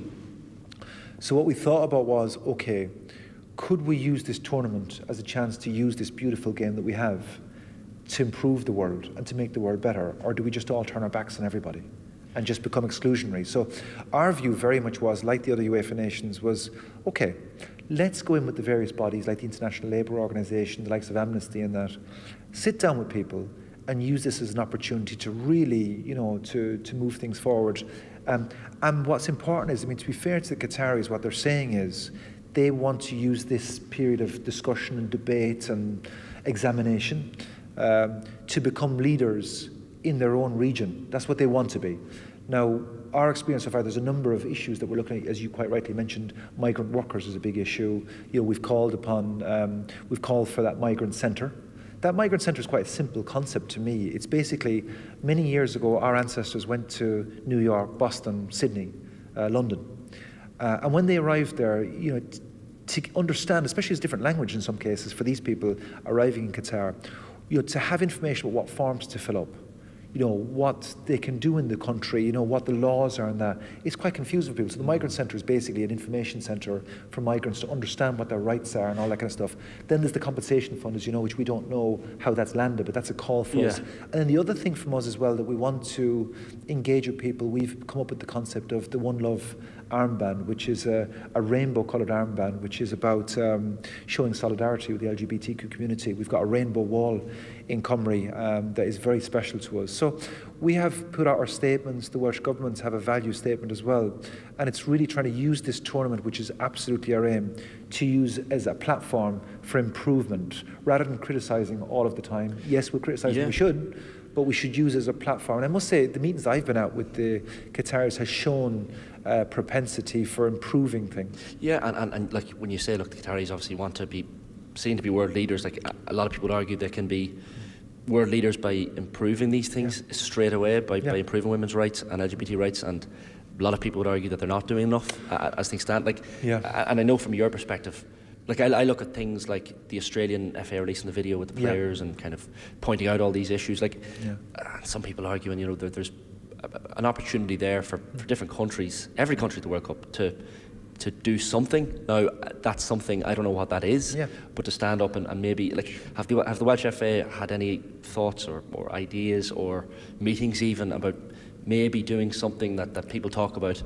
Uh, you know, like a, a, Jesse Owens moment. You know, something that people look back on years to come and go, okay, they were highlighting serious issues in, in the country that hosted the, the World Cup. Yeah, I mean, we had to look at our approach towards it. So we worked with the Welsh Government, um, and they've got a piece of legislation called the Wellbeing of Future Generations, which is a brilliant piece of legislation, which is basically about sustainability of Cymru going forward.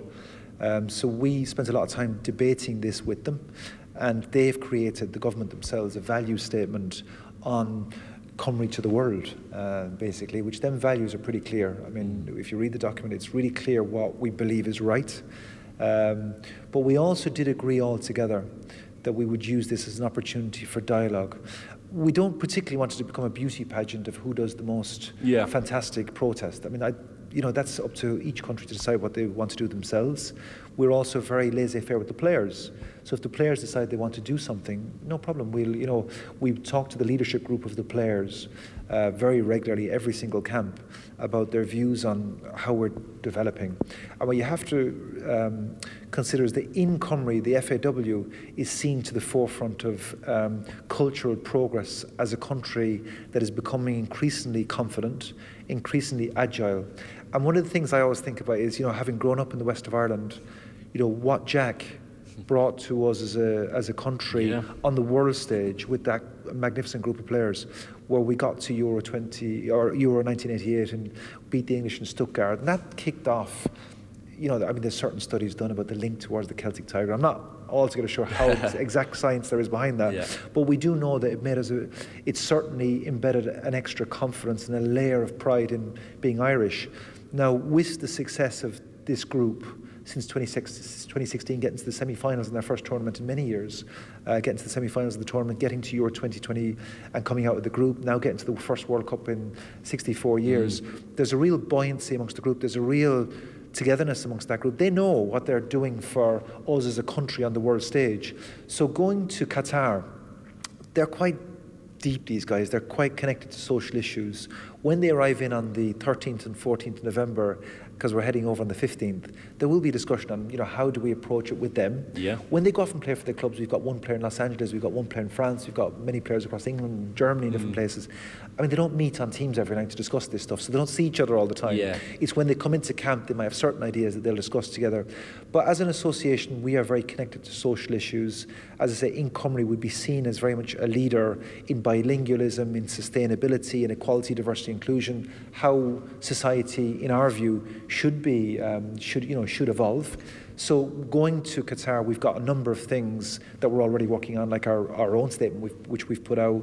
Uh, yesterday, for example, at a meeting with the First Minister, uh, Mark Drakeford of the TUC, which is you know a huge union, global union, who outlined to us the improvements that Qatar have made, as I say, in legislative development. They've shown us the figures, for example, of migrant workers that back in 2019 couldn't move job and now you've got hundreds of thousands who can flick between jobs and all that kind of stuff. Mm-hmm. So there's improvement being made. The question is the speed of improvement. And certainly when we go to Qatar, there'll be plenty of meetings around the tournament where that discussion will go on. The UEFA Working Group is our Klingon, because the UEFA Working Group is the 13 or so nations from Europe that are playing in the World Cup finals.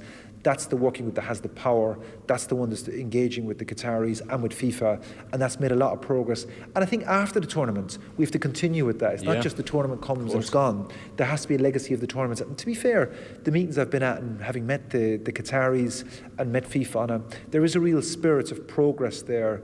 Um, and I think over the next couple of weeks, the rhetoric and the talk around Qatar will hot up. We're very conscious of that, uh, for sure. But we've got our own way of communicating. We've got our own way of um, of bringing things forward. We're confident that we're in the right um, the right lane. Very finally, Noel, and you've been very good with your with your time. Um, like you have England and, and USA and, and Iran, and I guess Iran are the, the ones that have been making the headlines in the last week. You've had the Ukrainian FA calling for their expulsion from the World Cup. Um, again, leaves you guys in an awkward position that you're you're in the same group as the Iranians, uh, and this is all, of course, to do with, uh, I guess, the war, the Russian invasion of Ukraine and Iranian support. Um, like, does does it lead to any awkward questions? Have you had to had, have any meetings with this? I guess the question is. The English FA, the Welsh FA, and the, the American Soccer Association are going to have to decide, you know, is, is, there any way we can have solidarity with the Ukrainian FA on, on, these issues? Because no doubt they want the Iranians not to take part in this tournament whatsoever. Well, we've gone through this for many months, obviously, since the invasion of Ukraine, which all of us felt desperately sad about. And the solidarity with the Ukrainians has been really strong, of course. Um, we played them uh, to qualify for the World Mm. Cup finals. There was all the debate before our playoffs that we felt that they should have got a place through to the World Cup. Ukraine, we discussed that with FIFA. We we discussed things like that. In the end, we played off, and they obviously beat Scotland, came to Cardiff, and and fortunately for us, certainly that we managed to qualify for the World Cup finals. But. Um, the president of the Ukraine FA, Andriy Pavelko, I would know very well from my time at UEFA. I felt desperately sorry for him on the day. I could see the tears in his eyes because Yeah. he knew for his own country what that would have done for Ukraine uh, to get to World Cup finals, what statement that would have made if Ukraine had been going to the World Cup finals. But obviously, we had a job to do. We're, uh, you know, a country that wanted to be at a World Cup finals. We hadn't been there for 64 years, so the players were very focused on getting Cymru to a World Cup finals, which thankfully they did. Now, since then, of course, you know, we've all um, worked very closely with Ukraine on all sorts of issues to demonstrate solidarity and our togetherness and our brotherhood um, with the Ukrainians. Um, I heard about the letter um, going to FIFA from the Ukrainian FA. I've had no contact from FIFA, from the Ukrainian FA, or anybody um, with regards to Iran. But what I can say is that we've had discussions with the Welsh government about our approach. Uh, to the match with Iran. So we're kind of in a wait and see mode on Iran, watching to see what develops. We keep our finger on the pulse of how it all goes. But um, to, you know, we've got the two sides. We've got to prepare to go to World Cup finals and all the technical analysis of the different teams that we're playing against. How are we going to unlock them and how are we going to get the results we need to get out of the group, of course. So the technical team is very focused on playing USA, Iran, and England. From my side and from the association's board side, we've got to keep watching that situation to see how it evolves. Today, I don't, you know, at the moment, I don't see any other result than us playing Iran on the day that we're slated to play against them. I don't see any change to that. I'm not aware of anything like that. Um, but um, watch this space. Listen, Noel Mooney, CEO of the Welsh FA, thanks a million for your time. Gareth Mahagat. OTB AM with Gillette in association with Movember. Effortless shave, magnificent mo. Barrett for